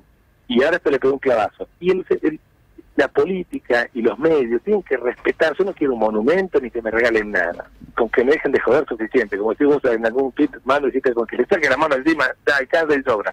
Pero eh, respetar a la gente, porque tenemos que laburar. Y esto está. Te puedo decir algo. Eh, a todas las personas que me crucé y, hablé con mucha gente estos días, de, de hace bastante tiempo, le digo lo siguiente. Si mañana viene el genio de Aladino, ¿viste? El de la lamparita, que, que, que y sale, y me parece un genio, y te, y te baja los impuestos, te regula el mercado laboral, te da certeza, te da una moneda sana y te saca las regulaciones. ¿Qué haces? Todos me dicen, me pongo a laburar lo este. Abro, empresarios grandes, abro sucursales, empresarios chicos, meto gente, seamos gente porque no puedo trabajar más con los parientes. Y, Viste, hasta el momento ya estamos con trabajo infantil, vamos a meter los sobrinitos, todo, pues nadie quiere contratar a nadie, meter familia, ¿ves? Entonces, eh, la gente encara, ¿ok? Bueno, eh, si hacemos lo contrario, la gente se retrae, ¿ok? Entonces, lamentablemente, en un país abierto, la, la, la vida es así lo que te voy a decir, en un país abierto, libre, sin tanta presión, los negocios surgen de las ideas. Y las ideas las tienen los ricos, los pobres, los inteligentes, los no inteligentes, los hinchas de boca, hasta los hinchas de boca tienen idea, todos tienen idea. Gracias por. Me hago cargo de eso. ¿eh? Y, y, y de ahí surgen los y de ahí surgen los negocios y de ahí surge el progreso. En los países cerrados, el progreso y los negocios surgen de los escritorios de los amigos. Y sabes qué, hay 10 escritorios locos. Y lo tienen ellos, no lo tienen ni vos ni yo. Y no lo van a tener nunca. Entonces, ese país empobrece. La Argentina va encaminada a un escenario, a un verano caliente como una pava, muy complicado. Esa es la, hermano, me, me, me, me, me. Esa es la pregunta. ¿Cómo veo lo que viene más allá de lo que quiero? Lo que viene viene muy enorme calentura. Y nosotros como opositores tenemos que dejarnos de jorobar con boludeces y entender que estamos en un problema serio. Gus, clarísimo. Y bueno, un placer haber charlado un ratito con vos. Te mandamos un abrazo grande. Disculpad algunas malas palabras que por mano. No, impecable como siempre. Yo para mí sos la persona más, eh, el, el observador de la realidad más lúcido que tiene la República Argentina. Considero que sos vos. Gracias. Lo necesito, este, este comentario. Ah, abrazo gigante, buen fin de semana, querido. Abrazo grande. Gustavo Lázari, economista, dale. ¿Qué tal? Carlos de Montegrande. Mirá, Adorni, todo bien, pero no te metas con el gusto de quinotos al whisky. Esa no, porque de todos es lo que más me gusta. Gracias. Buenos días, gente de radio. Coincido con lo de la fruta brillantada. Es horrible en el pan dulce y en el budín. Es un invento que no sé dónde salió. Pero con respecto al mondongo, no saben lo que se pierden. Las empanadas de mondongo con pasas de, de uva son un verdadero manjar. Soy Dante de Salta. Bien. Gracias a todos los oyentes. Eh, bueno, acá lo tengo a la distancia al querido Roberto Kachanowski. Escuchen a Roberto Kachanowski. Pizza con ananá me- merece el destierro. Es así, es así. Gente que sabe. Gente que sabe. Pisa con aná. Y hay que aclarar que no lo dijo en el audio. Odia la menta granizada como la odiamos todas las personas de bien de la República Argentina. ¿Qué pasa, Ricardito? No, con, con diciendo, Cacha también tenemos esas discusiones por, por redes sociales. Cacha, no sabes lo que te perdés. No, no se pierde nada. Muy bien los oyentes bancando a, lo- a- a Gana la dignidad, muy gana la dignidad, Eh, querido. muy Gana bien. la dignidad. Mira acá lo que dice un oyente. Me gustan las empanadas de carne con pasas de uva y rociadas con azúcar en la superficie. Ay, Qué No, ricas. me No, encantan peor. también a mí. Me encantan. ¿Cómo? No. Son ¿cómo? riquísimas. ¿Por qué? ¿Por qué? ¿Por qué? Son muy ricas. Acá también. Me encanta el pan dulce con fruta. No, con fruta y lo- se lo vamos a prohibir, así que que se vaya desacostumbrando al pan dulce con fruta brillantada. Mira, quinotos al whisky también, ¿eh? Muy rico el quinotos al whisky, Eh. muy qué rico. asco, sí. por favor, qué asco, A la gente le gusta y bueno. qué asco. Y no me voy a meter. No voy a decir un gusto de helado que también lo voy a prohibir, pero no lo voy a decir porque sé que hay mucho fanático. A ver. eh, y Ah, me van a arriesgate, decilo si te la El- bancas. Intriga. helado de zamballón. A mí No, me encanta. mí es, no lo que, es primero también. que pido. Hay lo que primero. prohibirlo. prohibirlo. Super zamballón. Estamos eh, en la sección Juntando Amigos esta. Dos de la tarde, cinco minutos.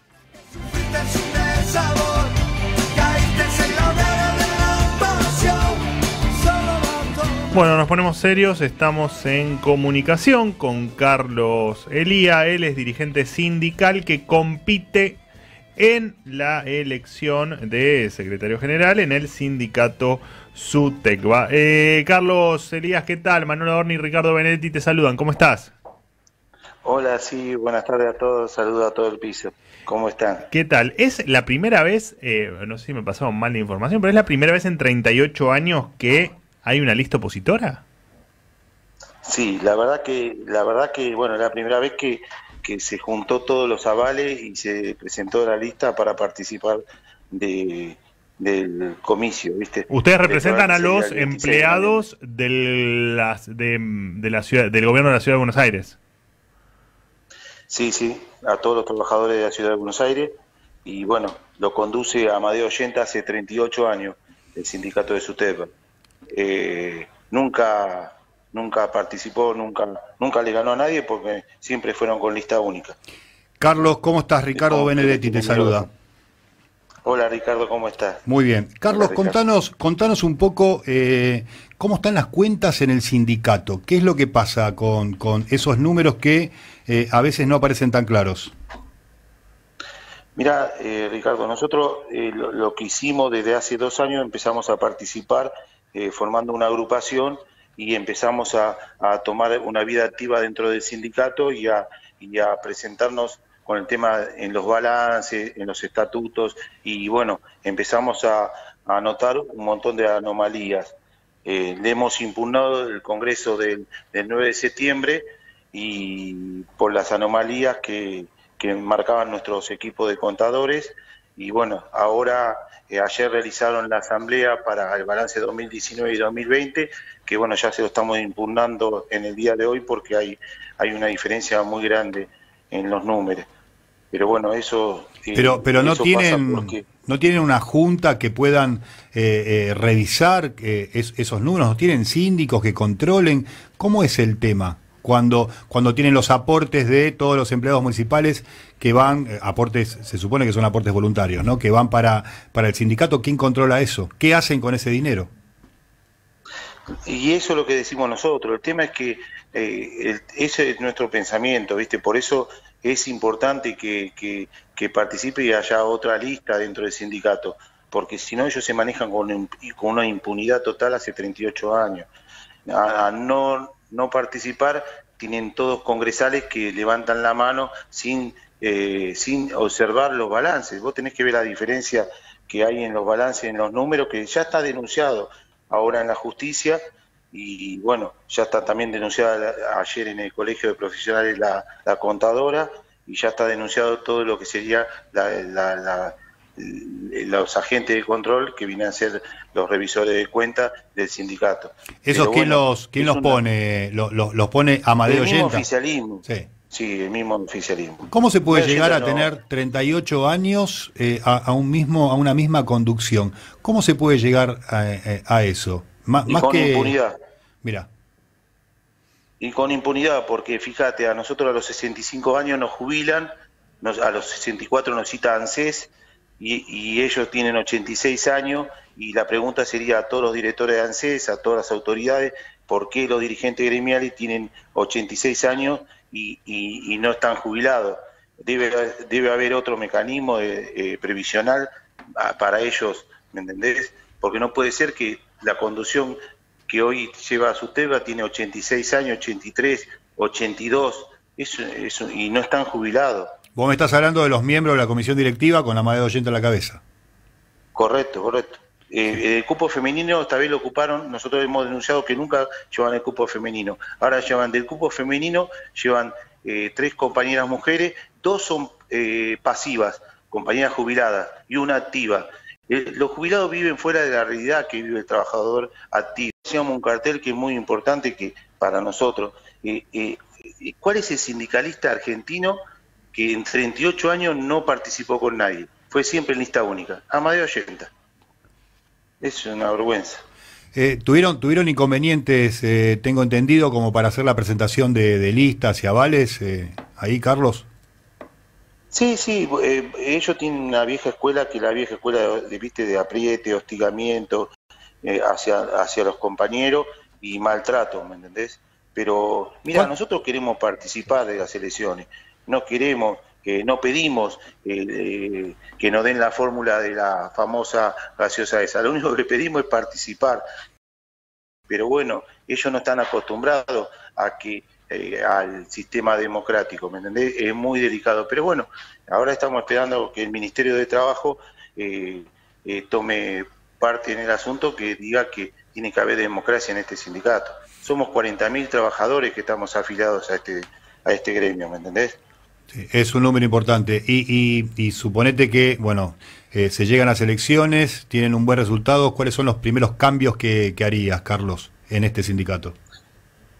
No, no, no, primero, Ricardo, la verdad, sinceramente, primero lo que tratamos de tratar de, comunicarle, y gracias a, a, a ustedes por darnos la posibilidad de transmitir, primero lo que estamos tratando de que, de que, de que, de que tiene que haber democracia, ¿me entendés? En el sindicalismo, que no puede ser que haya tanta impunidad y, y, después daremos a conocer todas nuestras propuestas, que son bastantes, que nosotros vivimos cerca de, de la realidad de los trabajadores, pero hoy contarle a la audiencia eh, sobre el tema de nuestra propuesta cuando estamos en una lucha muy complicada con, con gente arraigada, sentada en un lugar con una impunidad total y con una protección eh, ¿me entendés? hacia, hacia eh, el antidemocrático, ¿me entendés? hacia personas que quieren participar, es muy complicado. Para aquellos que somos trabajadores que formamos una lista honestamente y que lo único que queremos es que es participar de un comicio y transmitir la demanda de los trabajadores. Ellos viven muy lejos de la realidad.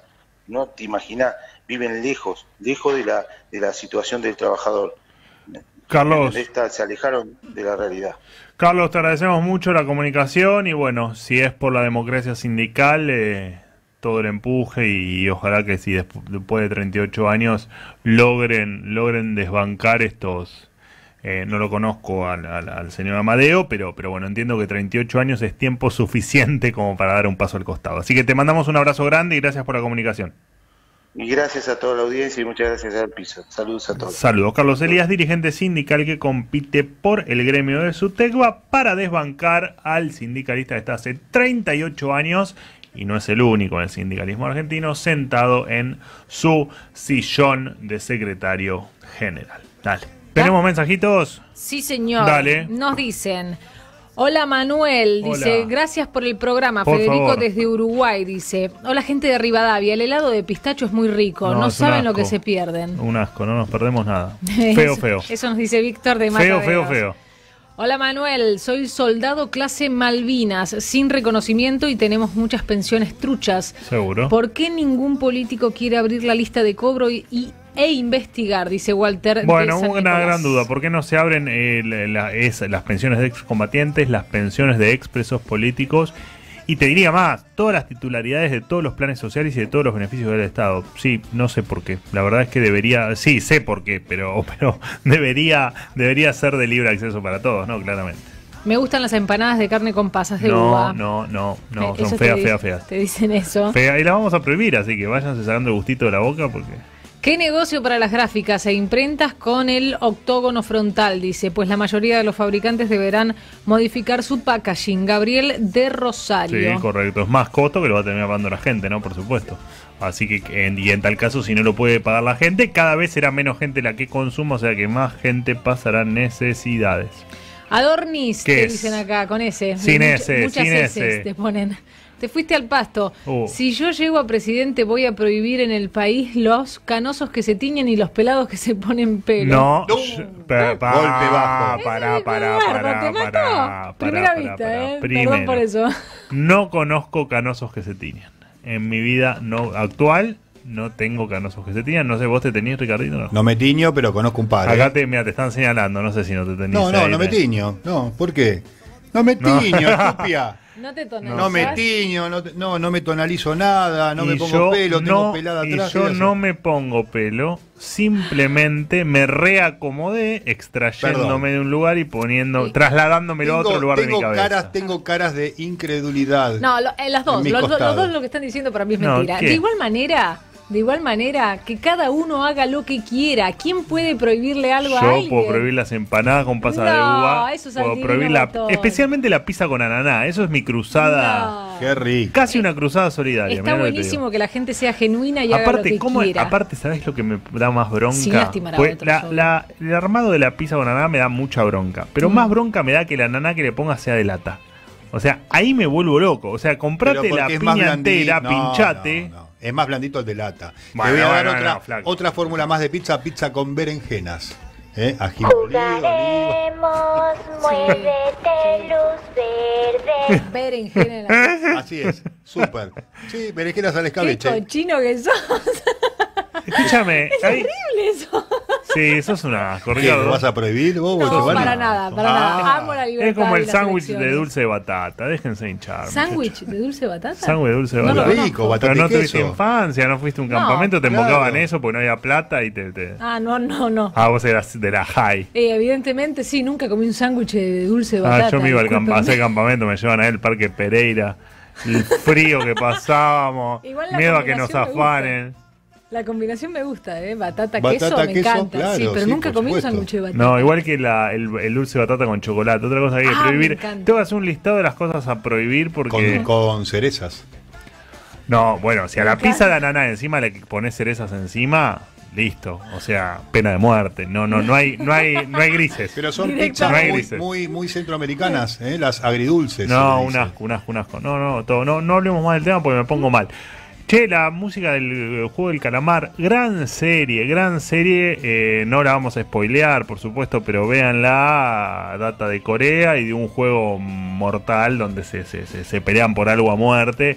Es muy interesante, es muy interesante. Quien la vio, que nos escriba a ver quién les gustaría que jueguen el juego del calamar y nos cuenta. ¿Qué vos a quién querés que juegue el juego del Yo, calamar? a mí me gustaría que jueguen eh, a- algunos funcionarios públicos el juego del calamar. Sí, sí. Por ejemplo, Por La vocera. La vocera. La vocera. Gabriela Cerruti, Ah. me gustaría que esté en el juego del calamar compitiendo con alguno de sus compañeros. ¿no? Todo el gabinete podría ser. Yo, todas las pizzerías, Sí. los dueños de pizzerías que vendan pizza con ananá tienen que participar del juego del calamar Mirá. y perder en el primer juego de ser posible. A mí Manu. también, que algunos eh, injertados con, con pelo también me gustaría No, que no, jueguen. no. Lo A mío ver fue quién un traslado sobrevive, de a ver quién cabello, sobrevive. querido, un traslado de cabello. Emi, Hola, me contacto desde la web y escuchate esta porque me, me caigo y me levanto.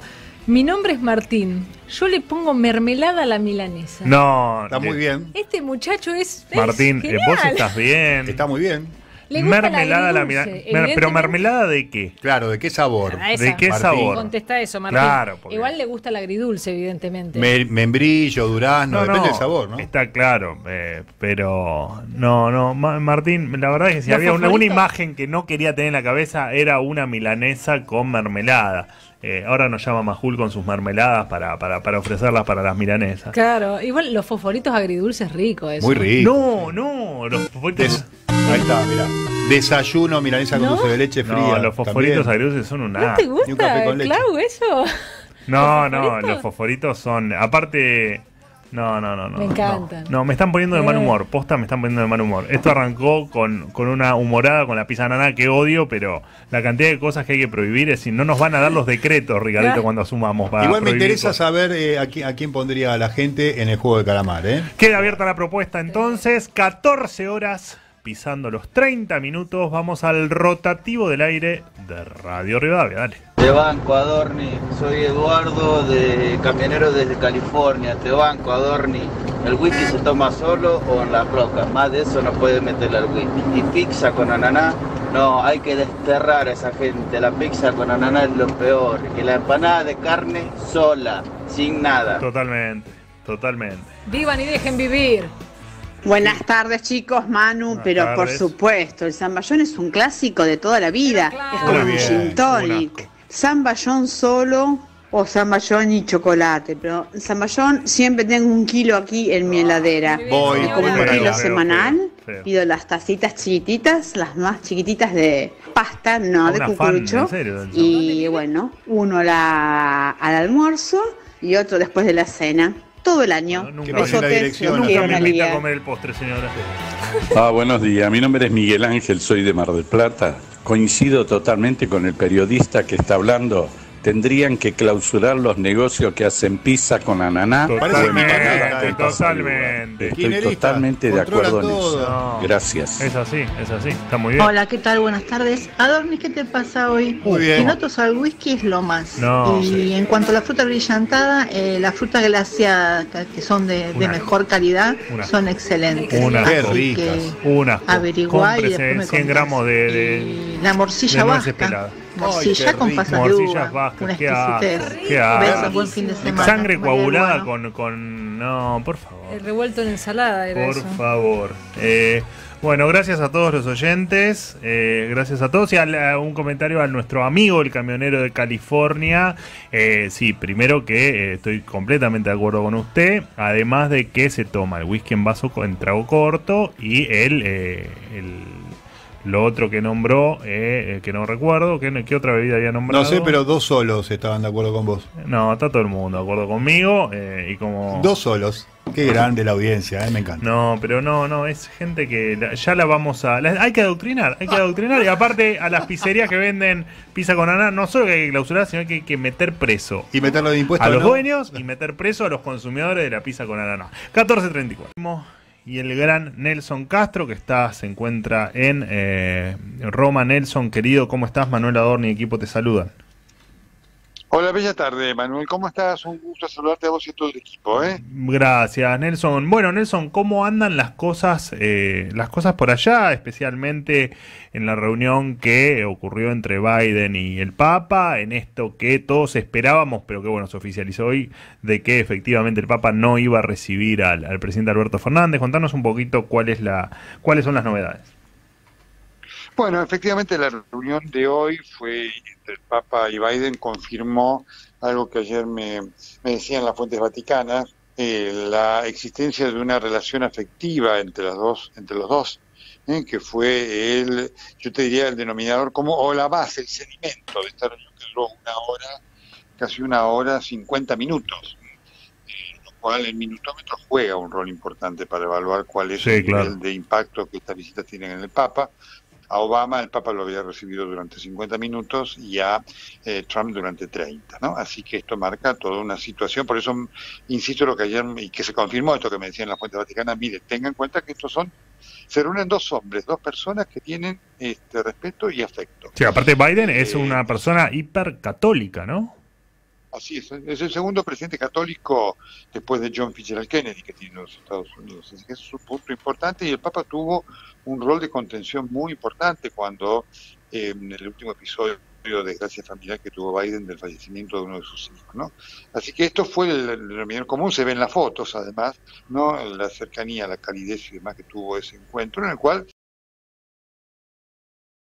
eh, se habló, obviamente, de lo que significa los temas principales, esto me lo, me lo decía ayer el Papa, eh, eh, fueron eh, el, el tema del clima, el cambio climático, que es un tema que a la Santa Sede le preocupa muchísimo, el tema, por supuesto, de la pandemia como tal, en cuanto a todos los países, el tema de la salida de la pandemia, el tema de las desigualdades en los países, los países endeudados eh, y demás, y obviamente también eh, la necesidad de salir hacia un mundo un poco más justo, igualitario, que esto forma parte de la doctrina de la Iglesia que el Papa viene exponiendo eh, con fuerza. Así que por acá pasaron los aspectos, el tema de la inmigración, no quiero olvidarlo, esto que también ayer me decía el Papa iba a ser un tema de conversación con Biden, así que te estoy dando eh, de boca de uno de los protagonistas los temas principales, por lo menos de la agenda de esta extensa reunión hoy, que fue el hecho político central aquí en Italia en relación a política exterior. ¿no? Nelson, ¿cómo estás? Ricardo Benedetti te saluda. Hola, ¿qué tal Ricardo? Buenas tardes, ¿cómo estás? Gracias, igualmente muy bien. Uno de los temas que más le preocupaba al Papa y, lo planteó en, en la reunión, por lo menos lo tenía previsto, era el reparto equitativo de las vacunas.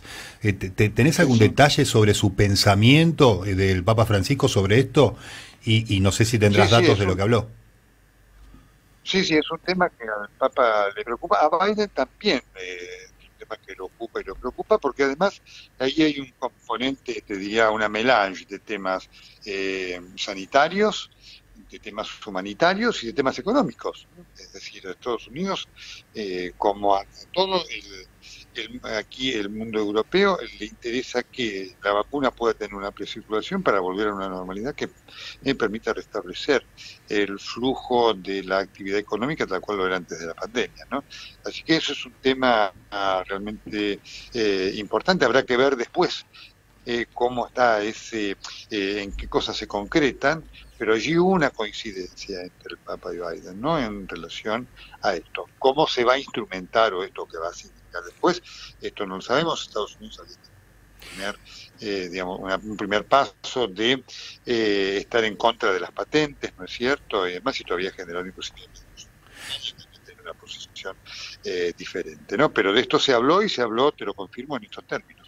Su- supimos que la, diplomacia argentina eh, hizo intentos para reunir al Papa con eh, el presidente Alberto Fernández. ¿Qué, qué nos podés contar? ¿Algún detalle sobre esto que al final no se dio? Bueno, cu- cuento dos cosas. Primero, el Papa, me dijo, no voy a recibirlo al presidente de la República, eh, porque el Papa no recibe a ningún presidente de ningún país que esté en campaña electoral, ¿no? ni de la Argentina ni de nada. Así que esta confirmación la tuvimos ayer a las 9 de la mañana, durante el encuentro con eh, la audiencia que nos Papa. Eh, lo que sí, las fuentes vaticanas me eh, confirmaron que hubo negociaciones, es decir, el pedido no llegó a concretarse, porque en las negociaciones previas, en las conversaciones, hubo ya una respuesta muy taxativa del Vaticano, de decirle, no pidan esto porque van a tener un no como respuesta, no se expongan a tener un no como respuesta.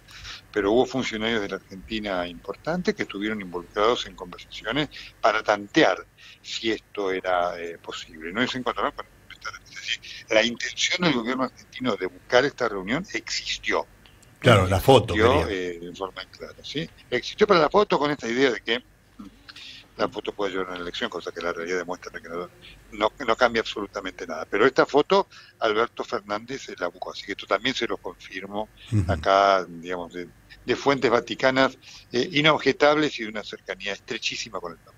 Y, y vos, y vos tuviste tu propio encuentro, obviamente, que la verdad que acá an- ansiosos de saber cuáles fueron los detalles más eh, enriquecedores ¿no? de, de esa charla, Nelson. Mira, fue una charla conmovedora. porque Tenía que durar 20 minutos, duró 40. Y tres cosas para marcar. Primero que me lo, lo- yo tenía, por supuesto, ganas de verlo. Estaba, me conmueve estar con el Papa. Eh, y quería verlo como estaba.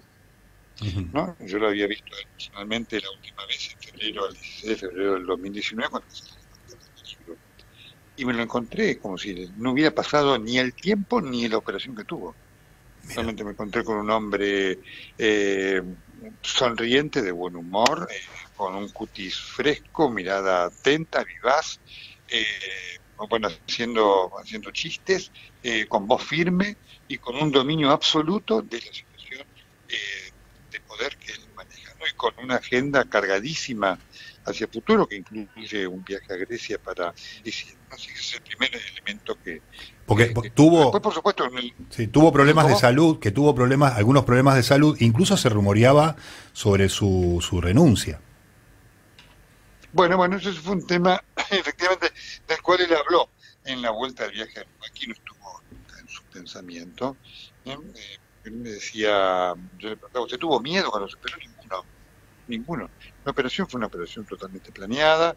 Eh, ya vamos a hacer otro próximo reportaje con el detalle de esto para el libro, así que quedó una cosa que salió de él. ¿no? Eh, así que me dijo, no tuve ningún, ningún problema que fue la operación y la recuperación fue absolutamente plena, así que no estuvo en mí eh, renunciar porque en ningún momento tuve miedo de que me pudiera salir mal de la operación, ¿no? Y se lo ve fantástico, ¿no? Realmente. Así que eh, por eso te digo, me decía la gente vaticana, con el mismo ritmo de trabajo que tenía antes de la operación, no 84 años, es un hecho eh, realmente no deja de impresionar, inclusive ya desde un punto de vista de, de la visión del ojo médico. ¿no? El segundo punto, bueno, tuvo que ver con lo personal, ¿no? Eh, estaba muy feliz con el libro, eh, con la repercusión del libro, que acá en Italia es muy grande, estaba muy feliz con el hecho de haber hablado claramente como lo hizo para el libro. Eh, realmente. Y además me demostró haberlo leído, porque en un momento me dijo, mire, leí todas las historias, la de Pío XI, qué historia, me dice, qué historia, realmente no la conocía. No, me dice, qué, qué, qué, mar- qué barbaridad lo que pasó con estas sospechas, o no, ¿cierto? ¿Ya abriste, ya abriste la cuenta, la cuenta en euros relevante de la conversación tuvo que ver con esto. Nos adelantó y nos dio algunos detalles de los que iba a estar hablando hoy con el presidente de los Estados Unidos, Joe Biden, ¿no? Así que con una con una calidez y una atención y una deferencia que por supuesto a mí me conmueve. Nelson, eh, ¿ya, ya abriste la cuenta en euros para, para cobrar tus regalías? Porque sé que se agotó en varios estados. Bueno, eh, sin duda, veremos después qué es lo que pasa. Después te cuento. ¿sí? Te lo van a especificar acá, Nelson, te lo van a especificar. Claro, claro, efectivamente. A está 100 bueno. pesos. Nelson, te mandamos un abrazo gigante del otro lado del, del océano. Le mando un saludo a usted. Gracias. Un por abrazo todo. Sí, gigante. una buena tarde. Nelson, Chau, chau, chau. el gran Nelson Castro desde Roma, con todas las novedades sobre el Papa y el encuentro con algunos de los presidentes en el marco del G20. 14 horas 44 minutos. Hola chicos, soy Gustavo de Devoto. Adorni, te banco a muerte, ¿eh? A muerte. Bravo. Aguante el chorizo colorado y un buen salame casero. Bien, Abrazos bien, para todos. Compro, compro. Escuchá, Dorni, ¿Qué acá pasa? desde Winnipeg, Canadá, te habla Alfonso. Yo tengo una pizzería y vendo la de palmito y ananá con salsa golf arriba, hermano. ¿Qué está? ¿Estás en contra del no mercado? tengo- no se tengo- vende, se vende, la gente le encanta. No tengo jurisdicción Estados cada uno Unidos, come lo que se le da la gana. acá nada Pero el whisky sí, solo con hielo, ¿eh? Blue, blue. Bye, abrazo. Buenas tardes, buenas tardes. Mi nombre es Walter y acá estoy sobre Ruta 3 pasando las flores. Y me estoy matando de risa solo porque justamente estaba mandando WhatsApp con mi amigo en España, en Palma de Mallorca.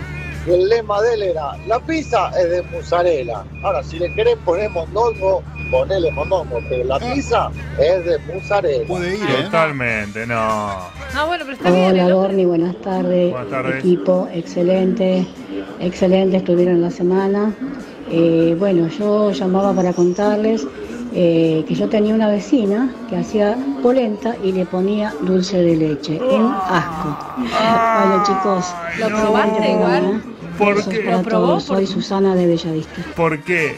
Claro, pero lo probó porque vos ¿Por sabés qué nos que tenemos que despedir hay así? Una tar- hay una torta de maíz Sí, es verdad. dulce que es muy rica. ¿cómo le va? Pero- no. Eh, que es muy rica. Hay que ver cómo lo prepara, ¿eh? Es verdad, es Hola, verdad. Dorni. La verdad, yo lo pondría a todos los políticos, más a los kirchneristas, en el juego de la muñeca, pero le daría el doble de velocidad para que se dé cuenta de cómo se está sintiendo la gente. Habló Jorge. Eh, a ver, eh, no tengo, no tengo, si, si, si en algún momento tenemos el poder para, para clausurar las pizzerías que vendan pizza con ananá, eh, va a ser dentro de la República Argentina. Así que si la pizzería la tiene en Estados Unidos, lamento comunicarle que no lo voy a poder clausurar ni meterlo preso. En Canadá la tenía mucho. En Canadá, bueno, peor, más lejos, ¿no? con menos jurisdicción. ¿no? Con... Ay, No, pero Dios te hizo un mío. comentario. Che, ¿Estás en contra del mercado, Adorni? Y te dijo. Che, polenta, sí, eh, con la pizza de ananá sí, estamos, somos comunistas. Basta de pizza de ananá, se terminó la pizza de ananá, se terminó la libertad. Eh, y aclaro algo. El de- me acaba de afectar mucho el comentario de la polenta con dulce de leche. Debe ser interesante, ¿eh? Probarlo. Me acaba de afectar Ay, claro, eh, hay que Hay que, abrirse, psicológicamente. hay que abrirse a nuevas experiencias, Manuel. me Hay que ver cómo está no, no, pero me destruyó, me destruyó la cabeza. Y acá tenemos un mensaje que dice, hay que empezar a suprimir el vitel toné. No coincido, señor, no coincido, usted debe ir preso. A ver, Muy bien. lo que hay que suprimir de la fiesta navideña es el pan dulce con fruta brillantada, ya lo dijimos. La lengua en escabeche, Muy la rica. lengua en escabeche tiene que ser prohibida y A desterrada. mí me da impresión, pero gusta, eso gusta, qué sé yo. Eh, No, no, no importa que te guste o no te guste, hay que A la prohibirla. Te estoy- yo estoy hablando de prohibición, Ah, ¿no? De cierto, si te gusta o no te gusta. Perdón, perdón. Pobre vaquita. Y acá, bueno, nos apareció. va- este programa se está terminando con la, una crisis de confianza que está sufriendo Ricardo Benedetti, que no le creen que no Los se dos. tiñe. No, no, Los para dos. nada, nunca. Me hice los claritos a los 16 años, ya lo dije. Yo no me yo No que me voy a salí tener, por soy una joven semana de la vergüenza que me dio una semana en no mi casa. no hay salí. el, el- Nunca más. los la gente que está en operación técnica no cree en la cabellera no teñida Por de, Pero envidia pura. de Ricardo Benedetti. ¿Qué pasa, Emil? Si estás desesperada, dale. Invertí en di- 15 horas viernes me voy a mi casa, me voy a disfrutar el fin de semana y le, se los dejo a todos ustedes. Al querido A Jonathan mí me Viale. falta dos horas de radio, una hora de tele, el pase con Feynman, el pase con Las Pablo Rossi. estrellas tienen esos problemas, Dios trabajan mío, de más. ¿Qué vas a hacer? ¿Cómo Yo, le como no soy estrella, viste, me voy a mi casa, duermo. Soy un planero de. Sos- un planero de los medios. Vos sos eh, recontra estrella. Un planero de los medios. En Twitter sos recontra estrella. Sí. Sí, sí. Fin. Escucha, Fin. Sí. Aparte le choreamos todo.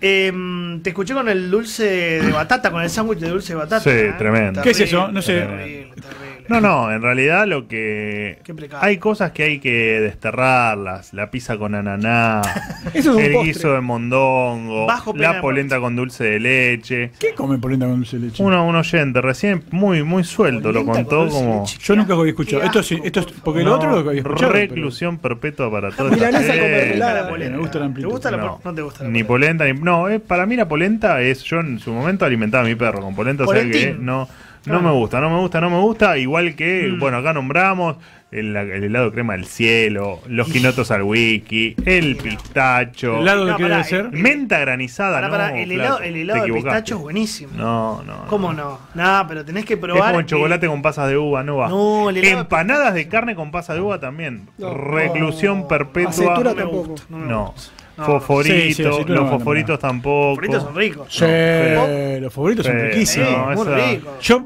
eh, tuve dos, dos condenas pendientes, hice probation por justamente una persona que quiso sacarme un favorito que y lo agarré yo. No. sí, sí, sí, sí, sí. ¿Era Marcelo Hay- Palacio? Hay cosas que no van más. Hay cosas que hay que La cambiar en menta, la la menta granizada del helado es eh, dentífrico. Sí, es pasta de dientes Bueno, con, con eh, chip de chocolate.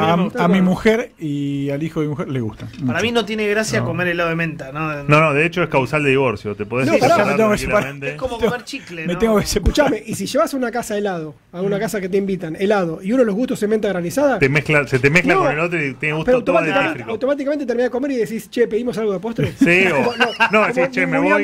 Ya me lavé los dientes. Yo te quiero decir que esto que están diciendo genera mucha polémica porque hay mucha gente que es, un, es uno de los gustos que está de moda en los No últimos lleve años. lo que Sí, te sí, gusta Y pistacho vos. también está de moda. No, No, no. lleve lo que te gusta a vos. Bueno, otra de las grandes grietas que hay es la pizza de rúcula con jamón Sí, eso es muy de Palermo. Esa va, Pizza de esa rúcula es muy rica. crudo. Esa es muy Gran rica. Sí. grieta. eh, A vos no te gusta. Vos que sos tradicional. Ah, y lo que pasa es que cuando te llevas el trozo de pizza, el triángulo de pizza a la boca, con todo eso arriba, se te cae, nunca llega a la boca y te lo terminas comiendo con el tenedor. O sea que no tiene mucha, no tiene mucha validez la combinación. está faltando un poco de piso a la pizza que Como estás que te comes Está- fideos con blanda. mayonesa. Digo, hay cosas que no se pueden. mayonesa, ¿De dónde sacaste eso? Por eso, pero basta de opinar, hay que castigar, ¿me entendés? Pena de Basta muerte. de la ¿Cómo opinión. castigar? Pena de muerte. pena Hay de que castigar, hay que prohibir, hay que ¿Cuál es su gusto de helado? A ver, dígame.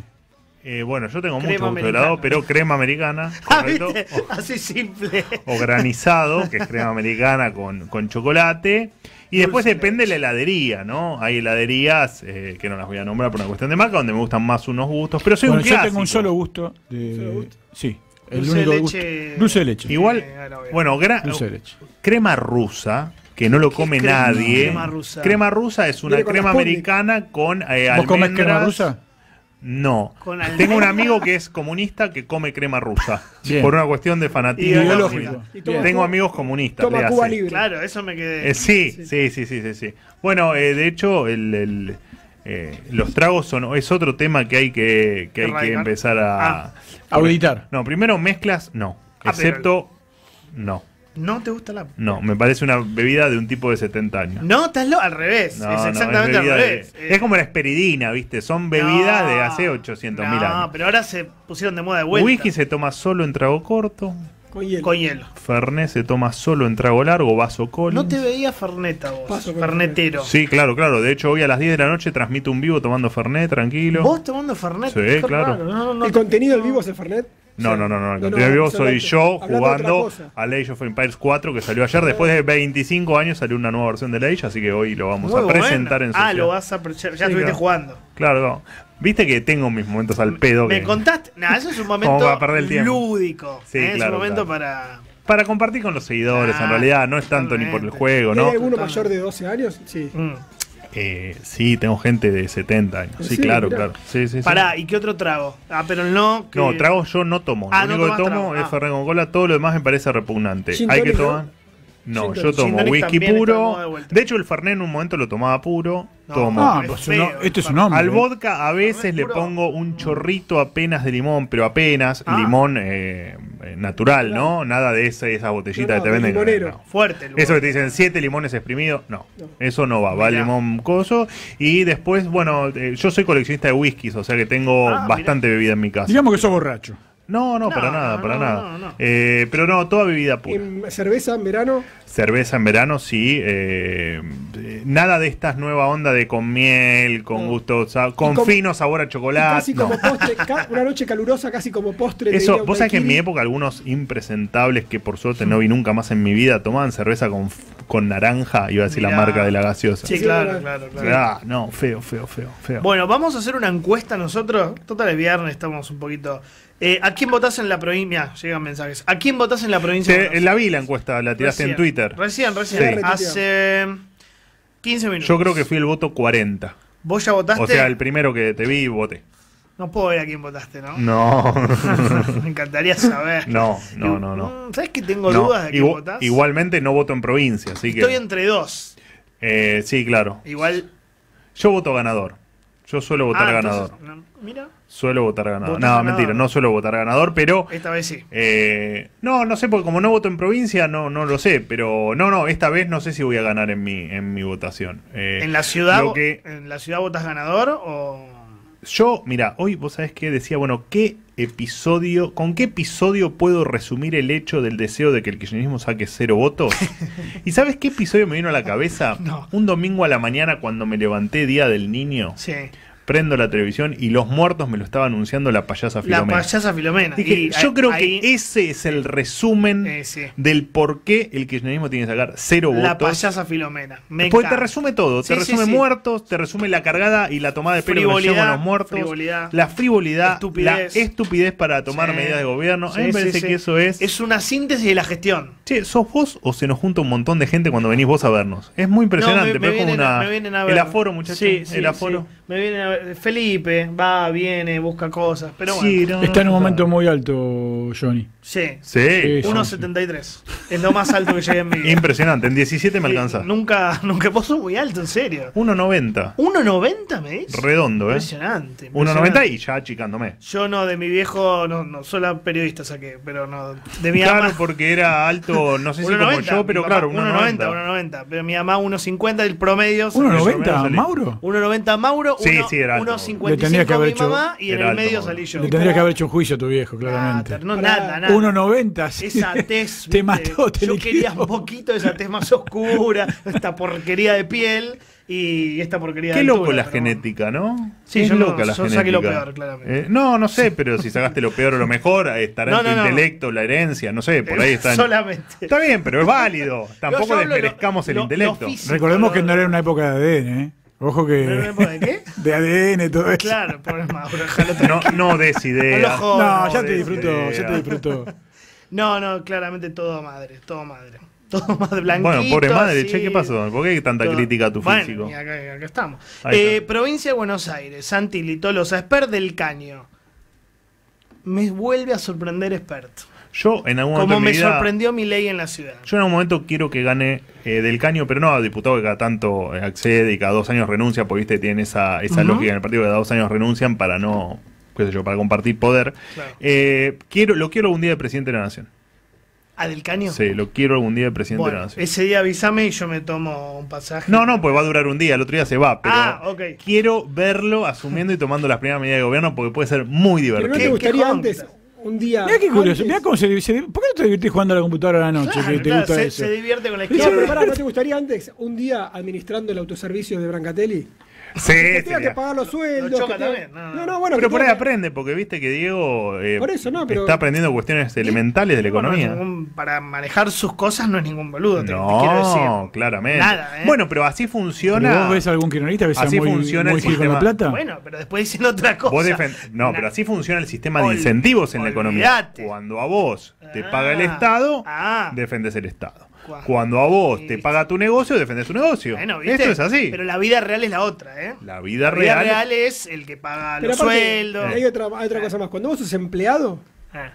sacás toda la lista de derechos laborales que existen en el mundo. Todas. Cuando vos contratás uno, Aunque sea, una- no sé lo que sea, un, esto era. un jardinero, una empleada doméstica, te faltan dos veces, y este no quiere laburar. No, hoy con- en la Argentina, con- así, ¿eh? en la Argentina contratás un empleado y en realidad adoptaste un hijo. O sea, es para toda la vida. No te lo sacás más de encima o le das todo lo que tenés y, Sí, sí, sí. y listo. Sí, Sí, sí, vos te convertís en esclavo. Te- Eso sí, eso sí. exactamente. Bueno, señor, vaya a descansar, Querido, que es viernes, disfrute el fin buen de semana. fin de ¿eh? semana, Hágalo por mí, buen programa. ¿Cuáles son tus redes para seguirte esta noche? Adorni eh, en hoy transmito por Twitch en Twitch. arroba Twitch. madorni arroba madorni en Instagram Ah, no le pegue más al micrófono que se Twitter, escuche, arroba señor. madorni ¿A en qué todos lados a las 22 horas arrancamos el Fernet lo armamos tipo 9.15 9.16 ¿Pero quiero empezar a transmitir? como ¿A para 22? llegar con el segundo a las 22 horas y que sea todo mucho más emocionante Bueno, suerte en esa transmisión. Buen fin de semana, ¿eh? suerte en el programa, suerte en el programa en La Nación y suerte con los pases. Se va en Cordelario a transmitir eso. Chau. Arrancamos, dale.